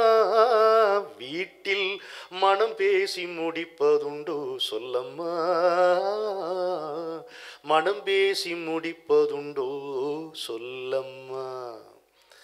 தாழையாம் பூ முடிச்சு தடம் பார்த்து நடை நடந்து நடை நடந்து வாழை இலை போல வந்த பொன்னம்மா? பொன்னம்மா என் வாசலுக்கு வாங்கி வந்த என்னம்மா? என்னம்மா? எங்கள் அம்மா கூட்டிகிட்டு போவாங்க சினிமாவுக்கு சின்ன வயசில். எனக்கு அந் அப்போது சிவாஜி கணேசன் நடிப்பில் திரையில் பார்க்கும்பொழுது இந்த பாட்டை இவர் தான் எழுதி இவரே பாடுறாருன்னு நினச்சிக்குவேன் நான். ஆ? அந்த அறியாமைக்காக நான் ஆண்டவனுக்கு நன்றி கூறுகிறேன். இன்னைக்கு அப்படிதான் தோணுது. அன்னைக்கு அறியாமல் அப்படி தோணுச்சு. இன்னைக்கு சிவாஜியை திரையில் பார்க்கும்போது அறிஞ்சே அப்படி இந்த இந்த கட்டாயம் இவன் தான் எழுதியிருப்பான் அந்த பாட்டை? இல்லைன்னா இவ்வளோ பாவத்தோடு ஒருத்தன் அந்த சொல்ல முடியுமா? ஆ? அப்படின்னு தோணுது. என்ன கிருஷ்ணா கரெக்ட் தானே? பா நீங்க அம்மாவோட போனீங்கன்னு சொன்னீங்க. உண்மையில இந்த பாட்டு வந்து ஒரு தாலாட்டு ஒரு அப்படியே நம்மள அப்படியே தாலாட்டுற மாதிரி ஒரு ஒரு பாலை போல் சிரிப்பு இருக்கு பக்குவமாய் குணம் இருக்கு குணம் இருக்கு. ஆளழகும் சேர்ந்து இருக்கு கண்ணையா இந்த ஏழைகளுக்கு என்ன வேணும் சொல்லையா? என்ன அழகு என்ன சென்டிமெண்ட் வரும். தந்தானதானதானே தனநானே தனனே நனநனநனநன. தாயாரின் சீதனமும் தம்பிமார் பெரும் பொருளும் தாயாரின் சீதனமும் தம்பிமார் பெரும் பொருளும் மாமியார் வீடு வந்தால் போதுமா அது மானாபிமானங்களை காக்குமா? மானாபிமானங்களை காக்குமா? அவரோட வரும் மனமே ஆடைகளாம் மரியாதை பொன்னகையா? பீலிலா மனமே ஆடைகளாம் மரியாதை பொன்னகையாம். நாணமாம் துணை இருந்தால் போதுமே. எங்கள் நாட்டு மக்கள் குலப்பெருமை தோன்றுமே. நாட்டு மக்கள் குலப்பெருமை தோன்றுமே. பாலை போல் சிரிப்பிருக்கு பக்குவமாய் குணம் இருக்கு ஆளழகும் சேர்ந்திருக்கு கண்ணையா. இந்த ஏழைகளுக்கு என்ன வேணும் சொல்லையா. சொல்லையா? வீட்டோட மாண்பை பெண்மை எப்படி போற்றாரோ அதே நேரத்தில் கவியரசர் வந்து நாட்டுக்கான சிந்தனைகள் பொது உடைமை எண்ணங்களை வந்து அவரோட பாடல்களில் நிறைய விதைச்சிட்டே வந்திருக்காரு. மனித வா மனிதனோட பரிணாம வளர்ச்சியில் வந்து முக்கியமான பங்கு வந்து கேள்வி கேட்கறதுல தான் இருக்குது சாக்ரட்டிஸாக இருக்கட்டும் இந்த கால நான் நம்மளுடைய தினசரி வாழ்க்கையாகட்டும் கேள்வி கேட்டு பதில் சொல்லி தான் வாழ்க்கை ஓடிக்கிட்டு இருக்கு அந்த அது அதில் வந்து ஒரு சமூக சிந்தனை வச்சு ஒரு பாட்டு இருக்குங்க. கேள்வி பிறந்தது அன்று நல்ல பதில் கிடைத்தது இன்று. அதில் வந்து சொல்கிறாரு பேதமில்லாத வாழ்க்கை வந்து சொல்கிறாரு அப்போ வந்து காதலி வந்து சொல்கிறாங்க மனச்சிறையில் காலமெல்லாம் சிறைன்னு. இந்த மாதிரி பேதம் சொன்னால் ஈபிகோல் என்னங்கிறத அழகாக இந்த பாட்டில் சொல்கிறாரு கஸ்டம் சூப்பரண்ட் இல்ல சட்ட பிரிவுகளை சொல்றாங்க. இன்று எவனும் பேதம் சொன்னால் இரண்டு வருடம் ஜெயில் உண்டு. ஜெயில் உண்டு ரொம்ப ஒரு சுவையான பாடல். பாருங்க சிறை உண்டுன்னு கூட சொல்ல ஜெயில் உண்டுன்னு. ஆ? ஆ. ம். ஓ பல பல பல. அவர் இரண்டு வருடம் ஜெயில் உண்டுன்னு சொன்னபோது அந்த சட்டம் வரலையாம் அப்புறம் தான் கவிஞர் வாக்கு கவிஞர் தீர்க்கதரிசி. கவிஞர் வாக்கு மெய்த்து விட்டது. அதாவது நீங்க விதை முளைப்பதை பார்த்திருப்பீர்கள் தானே? வினாக்குறியோடு தான் விதை முளைக்கிறது. பார்த்திருக்கீங்க? ஆச்சரியக்குறியாகத்தான் மழை விழுகிறது. எங்கிருந்து வந்தோம் எதை தொட்டோம் என்கின்ற ஆச்சரியம் மழைக்குறிக்கு எங்கிருந்து விழிப்புற்றோம் எதனை பார்த்து கொண்டிருக்கின்றோம் என்கின்ற கேள்வி இந்த உயிருக்கு. வினாக்குறியோடு தான் விதையும் முளைக்கிறது. அதனால தான் எல்லாருமே from quest question comes quest வேட்கையிலிருந்து வருவது கேள்வி. தேடுதல். ஆமாம் தேடுதல். அதான் கேள்வி வருகிறது. ஏன் என்ற கேள்வி? என்று கேட்காமல் வாழ்க்கையில் Vaali Vaali Vaali. Right right Vaali. இதுலயும் ஒரு இந்த சந்தோஷம் எங்கேயும் கிடைக்காது ஐயா. சொல்லுங்க. அதாவது அன்பு பிரம்போட உட்கார்ந்துருக்க ஆசிரியர்கள் மாதிரியே இருக்கு நம்மளை வழி நடத்துறவர் அவர். கண்டிப்பா. யாருக்கு கிடைக்கும் இந்த பாக்கியம்? கண்டிப்பா. எங்கேயோ தள்ளி உட்காந்துக்கிட்டு ஒரு கை தட்டுறது. அது சில சமயம் நல்லா பேசினதுக்காக இருக்கலாம் இல்லைன்னா போதுண்டான்னு சொல்கிறதுக்காகவும் இருக்கலாம். அப்புறம் மல்ல எழுந்து யாரோ ஃபோனில் கூப்பிட்ற மாதிரி எழுந்து அதெல்லாம் இல்லையே. ச சரளமாக எல்லோரும் கலந்துக்கிட்டு நம்ம எல்லாரும் சேர்ந்து கண்ணதாசனே கொண்டாடுகிறோம். அதுதானே இந்த நிகழ்ச்சியினுடைய சுவாரஸ்யம். அதனால தானே இவ்வளோ பேர் வராங்க. இதுலயும் அந்த மேக்ரோ மைக்ரோ சிந்தனை அவர் நாடு வீடு கொண்டு வராரு. உங்கள் தீமே இன்னைக்கு நாடும் வீடுமா இருக்கு. ஆமா. நான் அது தெரியாமலே பாட்டு வரிசைப்படுத்தினேன். அது தெரியாம பாட்டு வரிசைப்படுத்தினா இன்னைக்கு வரிசை பார்க்கும் பொழுது நாடு வீடு மாறி மாறி வரும் ஒன்றை ஒன்று பாதிப்பவை தானே கண்டிப்பா. கேள்வி பிறந்தது அன்று நல்ல பதில் கிடைத்தது இன்று. ஆசை பிறந்தது அன்று. யாவும் நடந்தது இன்று. அவ்வளவு அழகான சாமியா ஒரு இன்ஜின் டிரைவரை நீங்க உலகத்துல பார்க்க முடியாது கேள்வி பிறந்தது அன்று. நல்ல பதில் கிடைத்தது இன்று. ஆசை பிறந்தது அன்று. யாவும் நடந்தது இன்று. ஆண்டான் அடிமை மேலோர் கீழோர் என்பது மாறாதோ?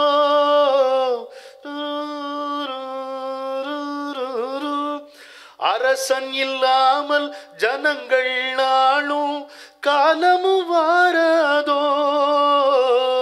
என்றொரு காலம் ஏங்கியதுண்டு இன்று கிடைத்தது பதில் ஒன்று.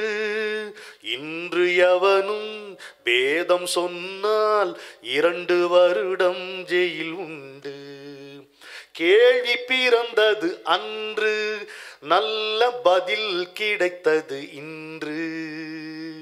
ஆசை பிறந்தது அன்று யாவும் நடந்தது இன்று. வானத்தில் ஏறி சந்திர மண்டல வாசலை தொடலாமா?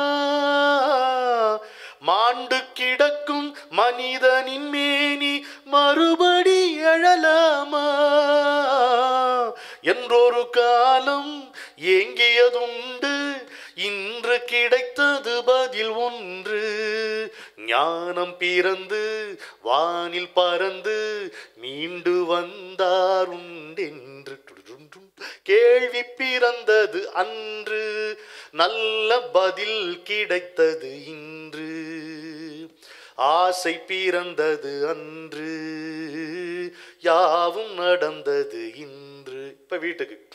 குலமகள் வாழும் இனிய குடும்பம் கோவிலுக்கிணையாகும். கூரை தெரியாமல் உறவு கொண்டாலே வாழ்வும் சுவையாகும். படித்த மாந்தர் நிறைந்த நாட்டில் பார்க்கும் யாவும் பொது உடைமை. நல்ல மனமும் பிள்ளை குணமும் நமது வீட்டின் தனி உடம். பின்னிட்டாங்க நல்ல மனமும் பிள்ளை குணமும் நமது வீட்டின் தனி உடைமை. கேள்வி பிறந்தது அன்று நல்ல பதில் கிடைத்தது இன்று. ஆசை பிறந்தது அன்று யாவும் நடந்தது இன்று.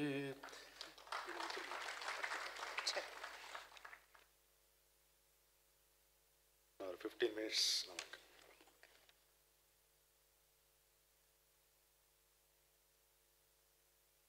சில பாடல்களை கேட்கும்போது நம்மளுக்கு ரொம்ப ஒரு ஓப்பாக இருக்கும். சில பாடல்கள் வந்து ஒரு மென் சோகத்தை அப்படியே நம்ம மேலே அப்படியே தெளிச்சிட்டு போகும். ஆனால் சில பாடல்கள் வந்து நம்மளோட ஆன்மாவே உருக்கிற மாதிரி பாடல்கள். கவியரசர் நிறைய அந்த மாதிரி பாடல்களை வந்து கொடுத்துருக்காரு. இந்த பாடல் வந்து பாரதியார் ஒரு ஒரு பாடல் வரிகளை ஒட்டி தொடங்கி நம்மளை வந்து அப்படியே கண்ணீரில் ஆழ்த்தி நம்மளுடைய ஆன்மாவோட ஒரு ஓரத்தை அப்படி கீறிட்டு போற மாதிரி ஒரு பாடல். ரொம்ப பிரமாதமான பாடல்ல. ஆமாம் பாடியே முடிச்சாச்சாங்க. இளம் காதல் ஒரு இளம் காதல்ங்கிறது ஒரு இள இளையவர்கள் காதல்ங்கிறது ஒரு நிலை. முதுமை காதல்ங்கிறது வந்து நல்லது கெட்டது வாழ்க்கையோட எல்லா பக்கங்களையும் புரட்டிட்டு அதனால இன்னும் இணக்கமானவங்களோட ஒரு நிலை. அனுஜி காதல் வளர்வதும் இல்லை தேய்வதும் இல்லை காதலர்கள் வளர்கிறார்கள் தேய்கிறார்கள். மனிதனுக்கு முதுமை உண்டு காதலுக்கு முதுமை கிடையாது. உன்கண்ணில் நீர் வழிந்தால். அந்த பாடல் வந்து படமாக்க விதம் வந்து ரொம்ப பிரமாதமா இருக்கும். அதுல வந்து அந்த தம்பதிகள் வந்து மனமொத்து வாழ்ந்த தம்பதிகள் பாட்டுல வந்து அவர் முதல்ல வந்து அவருடைய இளமை பருவத்தை நினைக்கிறாரு. அந்த ஊஞ்சல்ல வந்து ஆடுவாங்க. ஊஞ்சல் ஆடும்போது அவர் அந்த நேரா சைடுல கேமரா அந்த ஆங்கிள் இருக்கும். அவங்களுக்கு பின்னாடி ஒரு பாதியா அவங்க தெரிவாங்க. அந்த காட்சியே ரொம்ப அருமையா இருக்கும். ஆழம் விழுதுகள் போல் உறவு ஆயிரம் வந்துமென்னு சொல்லும்போது அந்த கையை அப்படி நீட்டுவாரு. பின்னாடி. உடனே அந்த கையை அவங்க பற்றிப்பாங்க. அது ரொம்ப ஒரு ஒரு பொயட்டிக்கா இருக்கும் அந்த பாடலே. வேறென்ன நீ இருந்தால் அதில் நான் விழுந்து விடாதிருந்தேன் அப்படின்னு கையை பற்றிப்பாரு. அதுக்கப்புறம் மடியில சாஞ்சு அவங்க வாசல்ல இருப்பாங்க. அந்த இது வந்து பிள்ளைகளெல்லாம் விட்டுட்டு போயிட்டாங்க. அது வந்து பறவைகள்லாம் பறந்து விட்ட கூடு மாதிரி இருக்கும். அவங்க ரெண்டு பேர் மட்டும் இருக்காங்க. ஒரு காலியான ஒரு சம் பிரைவசி இருக்கட்டும். அப்போ வந்து என் தேவையை யார் அறிவார்? அப்படின்னு சொல்லிட்டு மடியில இருந்துட்டு அவங்கள நிமிந்து பார்ப்பாரு பத்மினியுடைய எக்ஸ்பிரஷன் பிரமாதம். அதுல வந்து ஒரு சின்ன ஒரு குழப்பம் மாதிரி தெரியும் அவங்களுக்கு. ஒரு சலனம் இருக்கும். அடுத்தது வந்து அவர் சொல்லாரு உன்னை போல் தெய்வம் ஒன்றே அறியும். உடனே கண்ணை மூடிட்டு அந்த பின்னாடி இருக்கிற பில்லர்ல சாஞ்சுப்பாங்க. ரொம்ப பிரமாதமா இருக்கும். அது வந்து நான் இன்னும் அந்த வயதை எட்டலை. ஆனா வந்து I could really get the feel of it அந்த சாங்கை நான் எட்டவே போறதில்ல. அப்போ வந்து அந்த அந்த ஒரு வருத்தத்தோட சொல்லிட்டு அவங்களோட மடியில வந்து புதைஞ்சுக்கிட்டு உன் கண்ணில் நீர் வழி உன் கண்ணில் நிறுத்துவார் ஒரு பாஸ் இருக்கும். அப்புறம் திருப்பி என்னெஞ்சில் சொல்லிட்டு அவங்க மடியில குலுங்குவார் உடம்பு குலுங்கும். பிரமாதமா இது வரைக்கும் அந்த பாட்டை நான் கண்ணில் கண்ணீர் வராமல் கேட்டதில்லை சார். அந்த பிரமாதமான பாடல் வந்து இப்போ இந்த ரசிகர்களுக்காக நீங்க பாடலாம். அண்மையில் சிங்கப்பூருக்கு போனேன். அங்கே இந்த பாடல் பற்றிய விளக்கம் சொன்னேன். வீரமணி ராஜு பாடினார். அப்புறம் அபுதாபி போனேன். அருமையான அரங்கம். ஒரு ஆயிரம் பேர் உட்காந்துருக்காங்க அங்கே இருந்த டயத்தில் எனக்கு இந்த பாட்டை பயன்படுத்தி இந்த பாட்டை ஒரு சின்ன விளக்கம் சொல்லி என்ன விள விளக்கம்? தயவுசெய்து மனைவியை கொண்டாட கற்றுக்கொள்ளுங்கள் சொன்னேன் சுவாசத்தின் அருமையை மூச்சு அடைபடும் போதா நீங்கள் உணர்ந்து கொள்வீர்கள்? இருக்கும்போதே சுவாசத்தினுடைய அருமையை உணர்வது போல் இருக்கும்போதே மனைவியினுடைய பெருமையை உணர்ந்து அவளை கொண்டாடுங்கள் அப்படின்னு சொன்னேன் அங்கே. அப்புறம் இது முடிச்சுட்டு காரைக்குடிக்கு போனேன் முந்தானேத்து அங்கே ஆத்தங்குடி சிவன் கோயில் கும்பாபிஷேகம். கண்ணதாசன் மூலம் கடவுளை அடையலாம்ன்ற தலைப்பில் பேசினேன் அங்கே. அங்கேயும் அங்கே ஒரு ஆட்சிமாரெலாம் வந்து உட்காந்துருந்தாங்க இந்த பாட்டு தான் வாகா இருந்தது. அதை சொல்லுங்கன்னு இந்த பாட்டு அங்கே சொன்னேன். இந்த நிகழ்ச்சியிலேயே நம்ம நிகழ்ச்சியிலே இந்த பாட்டு வந்திருக்கு. சாதாரணமாக நம்ம ரெப்படேஷன் அவாய்ட் பண்ணுவோம். ஆனால் அனுஜி அவர்கள் வந்து எந்த விதமான விஐபி இதுவும் இல்லாமல் ஒரு ரசிகையாக இங்கே வந்திருக்கிறதுனால அவருடைய எந்த பாட்டையும் வந்து நான் அந்த ரெப்படேஷன் சொல்லி அவாய்ட் பண்ண விரும்பலை. இன்னொன்று வந்து இந்த பாட்டுக்கு சீசன் போல் இருக்கு. எனக்கு நான் எங்கே போனாலும் இதை வந்து விலைக்கு சொல்கிற மாதிரி வரும். அனுஜி சொன்ன மாதிரி இந்த பாட்டு பாரதியாருடைய சின்னஞ்சிறு கிளியிலேருந்து எடுத்தது. உன் கண்ணில் நீர் வழிந்தால் என் நெஞ்சில் உதிரம் கொட்டுதடி. அதில் இன்னும் சில என்னையா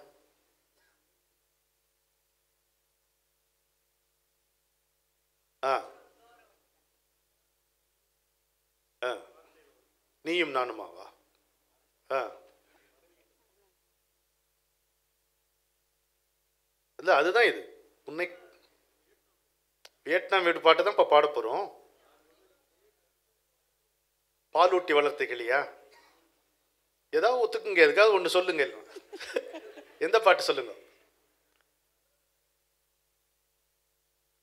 ஆ அதான் அந்த பாட்டு தான். இதில் சார் இந்த சின்னஞ்சிறு கிளியில் சில வரிகள் நம்ம பாட்டில் எடுத்துக்காதனால உங்களுக்கு தெரியாமல் போயிடுது அது மட்டும் சொல்கிறேன் பாரதியாரோட. சற்றுன் முகம் சிவந்தால் மனது சஞ்சலமாகுதடி. உன் நெற்றி சுருங்கக் கண்டால் எனக்கு நெஞ்சம் பதைக்குதடிங்கிறான். இதெல்லாம் நீங்கள் கவனிக்கல. சொல்லும் மழலையிலே கண்ணம்மா துன்பங்கள் தீர்த்திடுவாய். முல்லைச் சிரிப்பாலே எனது மூர்க்கம் தவிர்த்திடுவாய். இன்பக் கதைகளெல்லாம் உன்னைப் போல் ஏடுகள் சொல்வதுண்டோ?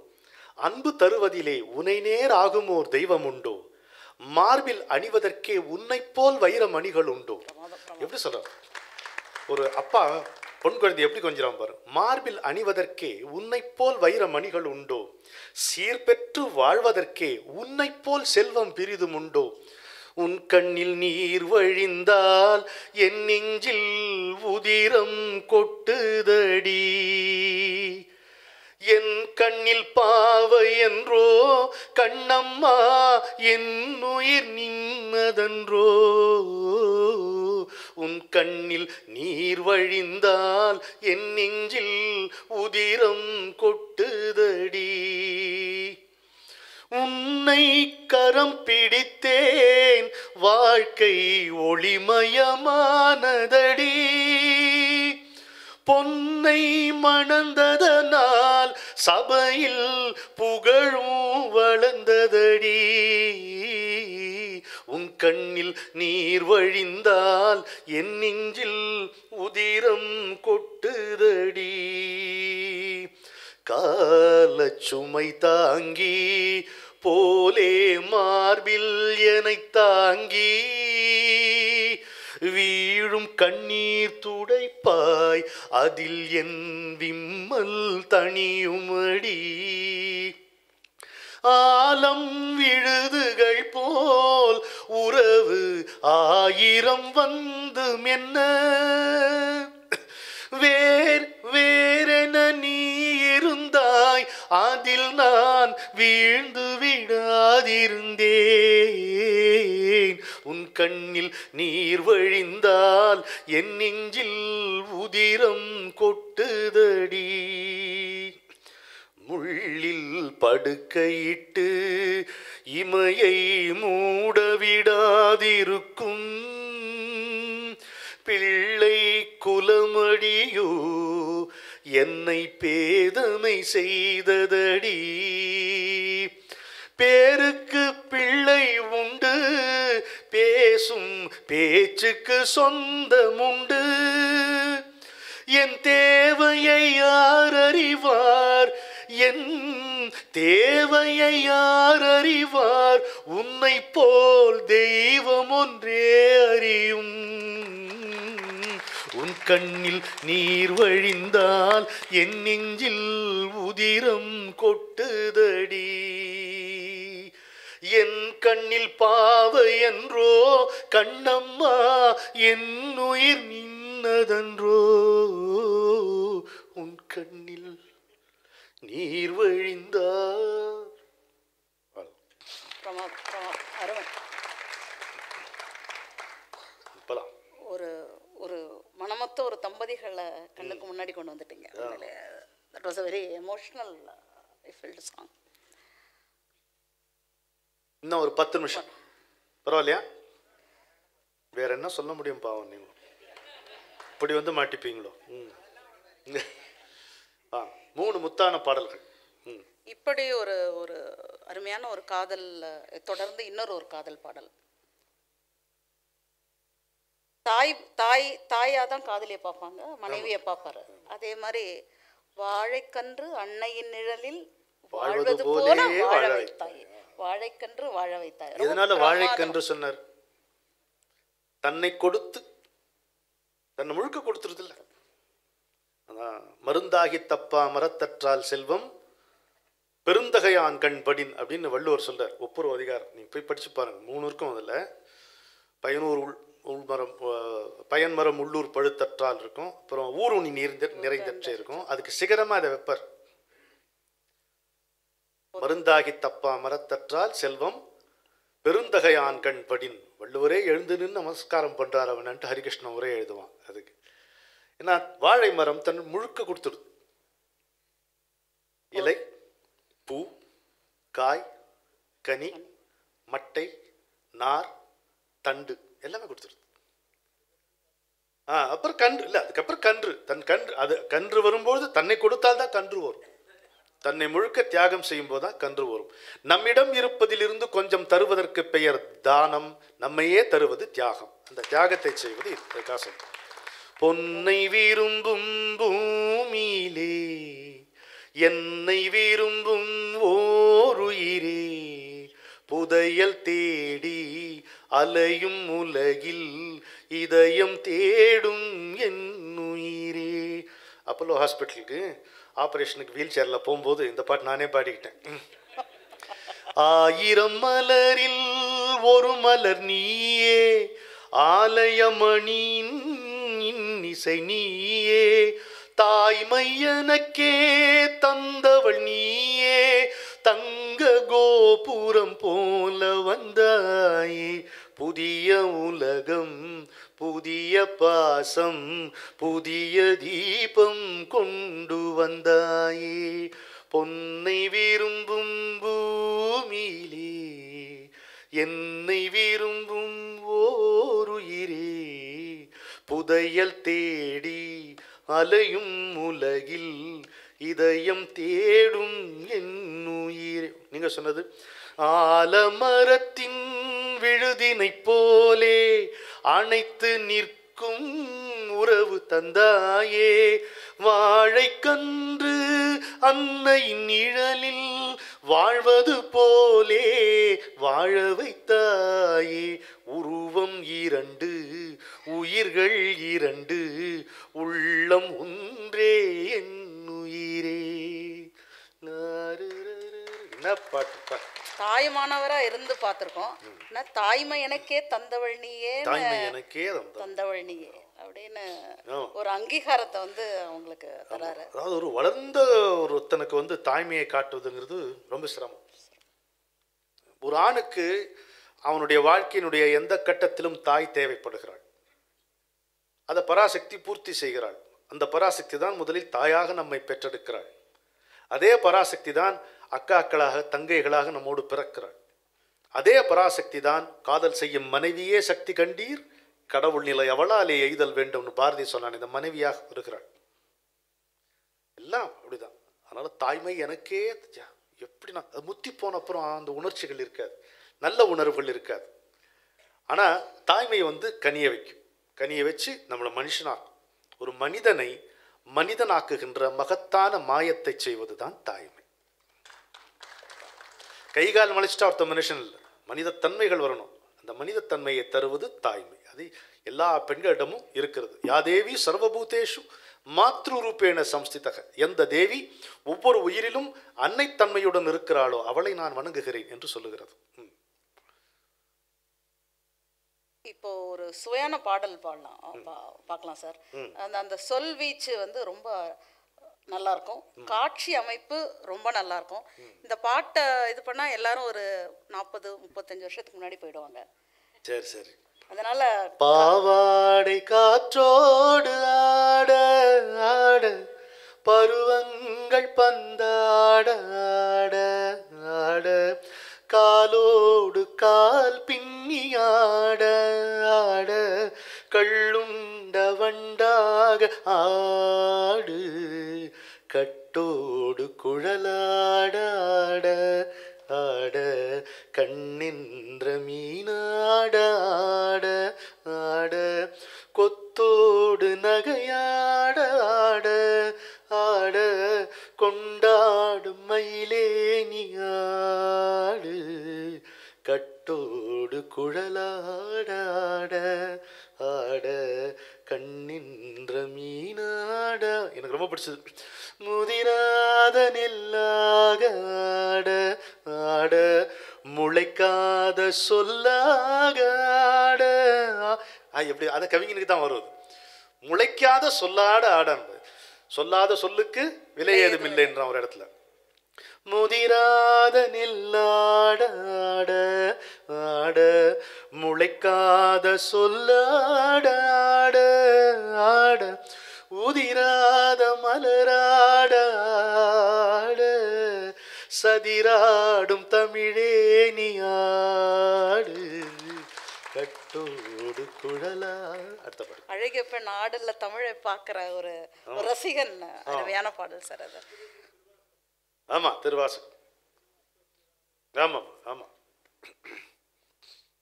நிறைவாக எவ்வளோ நிம்மதி பெற மனசுல இந்த வார்த்தையை சொன்னோன்னு? நல்ல சுவையான பாடல்களை பார்த்தோம். முத்தாய்ப்பா முடிக்கிறதுக்கு வந்து வாழ்ந்து பார்க்கலாம். வாழ்ந்து பார்க்க வேண்டும் அப்படிங்கிற ஒரு முடிவோடு முடிக்கலாம். ஏன்னா தமிழும் வாழ வேண்டும் மனிதன் தரமும் வாழ வேண்டும். தமிழ் வாழ்ந்தா அமைதி என்றும் வேண்டும். அதனால இந்த பாடலோட உண்மையாக தமிழ் படிப்பவன் உண்மையாக தமிழை நேசிப்பவன் தரமுள்ள மனிதனாகத்தான் இருப்பான். அதுல முக்கியமா ஒரு லைன் மானம் காக்க வேண்டும் பெண்ணை மதித்து வாழ வேண்டும். உங்களுக்கு இந்த நிகழ்ச்சி நடுவில் கண்ணதாசன் எழுதின திருமண வாழ்த்தை சொன்னேன். நம்பிக்கையை பற்றி அவர் சொல்ற சில வரிகளை கேளுங்க. என்ன அருமையான கவிதை பாருங்க. நம்பிக்கை எனும் நந்தா விளக்கு உள்ள வரையில் உலகம் நமக்கு. முஷ்டா நம்பிக்கை எனும் நந்தா விளக்கு உள்ள வரையில் உலகம் நமக்கு. இருக்கும் இடமே பெரிதென்று எண்ணி சுவைக்கும் வாழ்வே சுகம் பெறும் வாழ்வு இருக்கும் இடத்தை விட்டு இல்லாத இடம் தேடி போகக்கூடாது. இருக்கும் இடமே இனிதென்றெண்ணி சுவைக்கும் வாழ்வே சுகம் பெறும் வாழ்வு. சின்ன குடிலிடை தேய்ந்த கட்டிலில் கன்னம் சாய்த்து கற்பனை உலகில் பறக்கும் சுகத்தை பாமரம் அறியுமா? சின்ன குடிலில் தேய்ந்த கட்டிலில் கன்னம் சாய்த்து கற்பனை உலகில் பறக்கும் சுகத்தை பாமரம் அறியுமோ? எங்கே துவக்கம் என்று முடிவு என்று எழுதிய கைகளே எமக்கும் எழுதின. அங்கே ஏடும் ஆட்சியும் இருக்க இங்கே நாம் ஏன் இருப்பதை வெறுக்க? அங்கே ஏடும் ஆட்சியும் இருக்க இங்கே நாம் ஏன் இருப்பதை வெறுக்க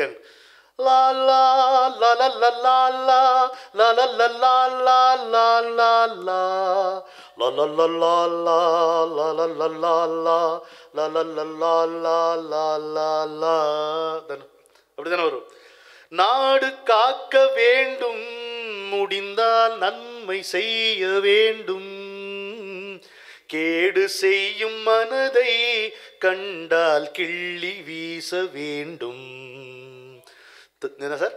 என்னாச்சு? ஓ மியூசிக்கா போடுங்க போடுங்க. நாடு காக்க வேண்டும் முடிந்தால் நன்மை செய்ய வேண்டும். கேடு செய்யும் மனதை கண்டால் கிள்ளி வீச வேண்டும். தமிழும் வாழ வேண்டும் மனிதன் தரமும் வாழ வேண்டும். தமிழும் வாழ வேண்டும் மனிதன் தரமும் வாழ வேண்டும். அமைதி என்றும் வேண்டும். ஆசை அளவு காண வேண்டும். டுடுடுடுடு வாழ்ந்து பார்க்க வேண்டும். அறிவில் மனிதனாக வேண்டும். வாசல் தேடி உலகம் உன்னை வாழ்த்தி பாட வேண்டும். காற்று வீச வேண்டும். பெண்கள் காதல் பேச வேண்டும். காதல் பேசும் பெண்கள் வாழ்வில் கவிதையாக வேண்டும். மானம் காக்க வேண்டும். பெண்ணை மதித்து வாழ வேண்டும். மானம் காக்க வேண்டும். பெண்ணை மதித்து வாழ வேண்டும். உண்மை நண்பர் வேண்டும். இருவர் ஒருவராக வேண்டும். டரலல்லல்ல வாழ்ந்து பார்க்க வேண்டும். அறிவில் மனிதனாக வேண்டும். வாசல் தேடி உலகம் உன்னை வாழ்த்தி பாட வேண்டும். என்ன டைமிங் பார்த்தீங்களா ராமசாமி ஐயா உள்ள நுழைஞ்சா பாட்டு முடியுது. ஆ. சொல்லுங்க. ம். ஐயோ எனக்கு ஞாபகம் இல்லையே இந்த பாட்டு. இன்னொரு பாட்டு. இன்னொரு வாட்டி. அடுத்த நிகழ்ச்சியில் பாடுறேன். இப்போ வாலி வந்து கிருஷ்ண பக்தன் ஒரு புத்தகம் எழுதியிருக்கார். நீங்கள் அதை அவசியம் படிக்கணும். முழுக்க முழுக்க கண்ணதாசன் மேலே கவிதைகள் எழுதியிருக்கார். அதில் நாலு வரி சொல்கிறேன் பாருங்க. பூக்களில் கல்லை வாங்கி புனல்களில் குளிரை வாங்கி தீக்களில் கனலை வாங்கி திசைகளில் காற்றை வாங்கி பாக்களில் கலந்து தந்தான். பருகியே கிறங்கினோர்தம் நாக்களில் காலந்தோறும் நடப்பனே கண்ணதாசன்கிறார் நாக்களில் காலந்தோறும் நடப்பனே கண்ணதாசன் என்றார். வானம் வாழும் வரை கண்ணதாசன் கானம் வாழும். அவன் கரங்கள் பட்டு கௌரவம் பெற்றன சுரங்கள் ஏழும் அப்படிங்கிறார் வாலி வானம் வாழும் வரை கண்ணதாசன் கானம் வாழும். அவன் கரங்கள் பட்டு கௌரவம் பெற்றன சுரங்கள் ஏழும் என்றார். இந்த ஒப்பற்ற கவிஞனுடைய கவிதைகளையும் பாடல்களையும் நாம் தொடர்ந்து பார்த்து கொண்டு வருகிறோம். அந்த வகையில் இன்றைக்கு மிக சிறப்பானது ஒரு நிகழ்ச்சியை நமக்கு வழங்கிய திருமதி அனுராதா ரமேஷ் அவர்களுக்கு நம்முடைய வளமான கரவொலியால் நன்றி சொல்வோம். இன்னும் மூன்று நிமிடங்கள் இருக்கு எடுத்துக்கொள்வோம். என்னம்மா? செகண்ட் பார்ட் வரும் ஒரு அடங்கப்பா. ம். ம் வந்தா போச்சு. இது ஆக்சுவலாக செகண்ட் பார்ட் நாங்கள் குரோம்பேட்டில் முதல்ல அந்த நிகழ்ச்சி நடத்தினோம். ஆ? ஆ வரும். அவர்களுக்கு கிருஷ்ணா ஸ்வீட் சார்பில் நல்லோர் விருது வழங்கப்பட இருக்கிறது. அந்த விருது பட்டயத்தை படிப்போம். அதை படித்த பிறகு ராமசா ராமசாமி ஐயா அவர்களும் நம்முடைய டால்ஃபின் ஸ்ரீதரன் அவர்களும் மேடைக்கு வர வேண்டும். அவர்களுக்கு சிறப்பு செய்து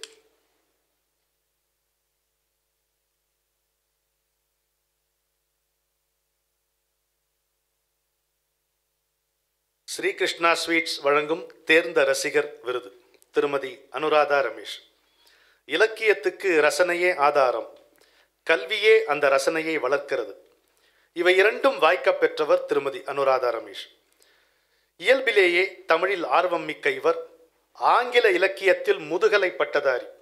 பேச்சு கட்டுரை நடிப்பு போட்டிகளில் ஆங்கிலத்திலும் தமிழிலும் ஏறத்தாழ் ஐநூறு பரிசுகள் வாங்கியுள்ளார். பாருங்கள் தென்னிந்திய ரயில்வேயிலும் அதைத் தொடர்ந்து அகில இந்திய வானொலியில் செய்தி வாசிப்பாளராகவும் பணியாற்றிய இவர் தற்போது சுங்க இலாக்காவில் கண்காணிப்பாளராக இருக்கிறார். ஒரு குழுவின் தலைவராக பதவி உயர்வு பெற்றுள்ள முதல் பெண்மணி இவர். ஆங்கில எழுத்தாளர் ஸ்டார்க் எழுதிய ஹோஸ்டேஜஸ்ட் இந்தியா என்னும் நூலை தமிழில் இந்தியாவின் பணைய கைதிகள் என்று மொழிபெயர்த்திருக்கிறார். அதேபோல் ஜெருசேலம் ஆங்கிலத்தை தமிழில் மொழிபெயர்த்தமைக்காக அவருக்கு இரண்டாயிரத்தி பதினாறாம் ஆண்டு சிறந்த மொழிபெயர்ப்பாளர் விருது கிடைத்தது. கண்ணதாசனின் பாடல்களில் மூழ்கி அவற்றின் நயங்களை விளக்குவதில் ஈடுபாடு கொண்டவர் இலக்கிய ரசனை மிக்க திருமதி அனுராதா ரமேஷ் அவர்களுக்கு தேர்ந்த ரசிகர் விருது வழங்கி சிறப்பிப்பதில் பெருமகிழ்ச்சி கொள்ளுகிறோம். அவருடைய எல்லா பணிகளும் சிறந்து விளங்க வேண்டும் என்று இறைவனை வேண்டுகின்றோம். இருபத்தி நாலு ஏப்ரல் பாரதிய வித்யா பவன் மாமுரளி ஸ்ரீகிருஷ்ணா ஸ்வீட்ஸ் சென்னை.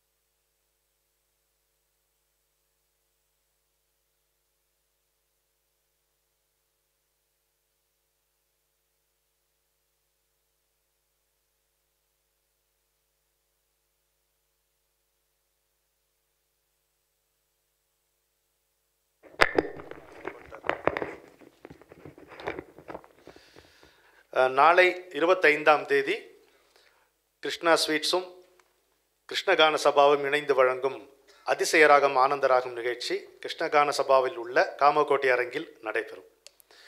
இருபத்தி ஆறாம் தேதி ரசிகர் ரஞ்சனி சபாவில் என்னுடைய இலக்கியமும் திரை இசையும் என்கின்ற ஒரு நல்ல நிகழ்ச்சி நடைபெறும். இருபத்தி ஏழாம் தேதி வாணி மகாலில் வாழ்வாங்கு வாழும் வழி என்கின்ற தலைப்பிலே பேசுகிறேன். அப்புறம் முப்பதாம் தேதி திரும்ப பாரதிய வித்யா பவனில். சார் நான் அப்பப்போ அப்பப்போ வீட்டுக்கு போகிறேன்னா இல்லையா நான்? போகிறேன் முப்பதாம் தேதி பாரதிய வித்யா பவனில் பெண்மையை போற்றுவோம் என்கின்ற என்னுடைய தொடர் சொற்பொழிவு நிகழும். அனைவர் போடுறாங்களே இப்போ? அப்படியா சொல்கிறேன் நான். பார்க்குறேன் பார்க்குறேன் சரி சரி சொல்லிடுறேன் இப்போ. அந்த கம்ப்ளைண்ட்டை சொல்லிடுறேன். நிவர்த்தி பண்ணுவோம். எல்லாரும் வருக. வணக்கம். This is the story of a house that has journeyed across five decades. A journey of struggle, adventure, passion, and achievement. A journey from a local name to global fame. Sri Krishna Sweets, founded by Amuda Semmal, Sri Mahadevayar, is known for its melting magic, the divine Mysore a delicacy loved by one and all in India and abroad. Even before the phrase corporate social responsibility gained significance, it was textured into the group's value systems. And today, this phrase has been redefined by Mr. Murali as citizen social responsibility. Chennai 365, an effort by SKS in association with social, sports, and cultural bodies to do good to a vibrant Chennai. To Sri Krishna Sweets, it's no mere rule. It's not just an act. It's every citizen's social responsibility. After all, we make a living by what we get, but we make a life by what we give. And in the process, create a world where life's best bonds are built, built with love and care. And in time, they will become our strongest bond.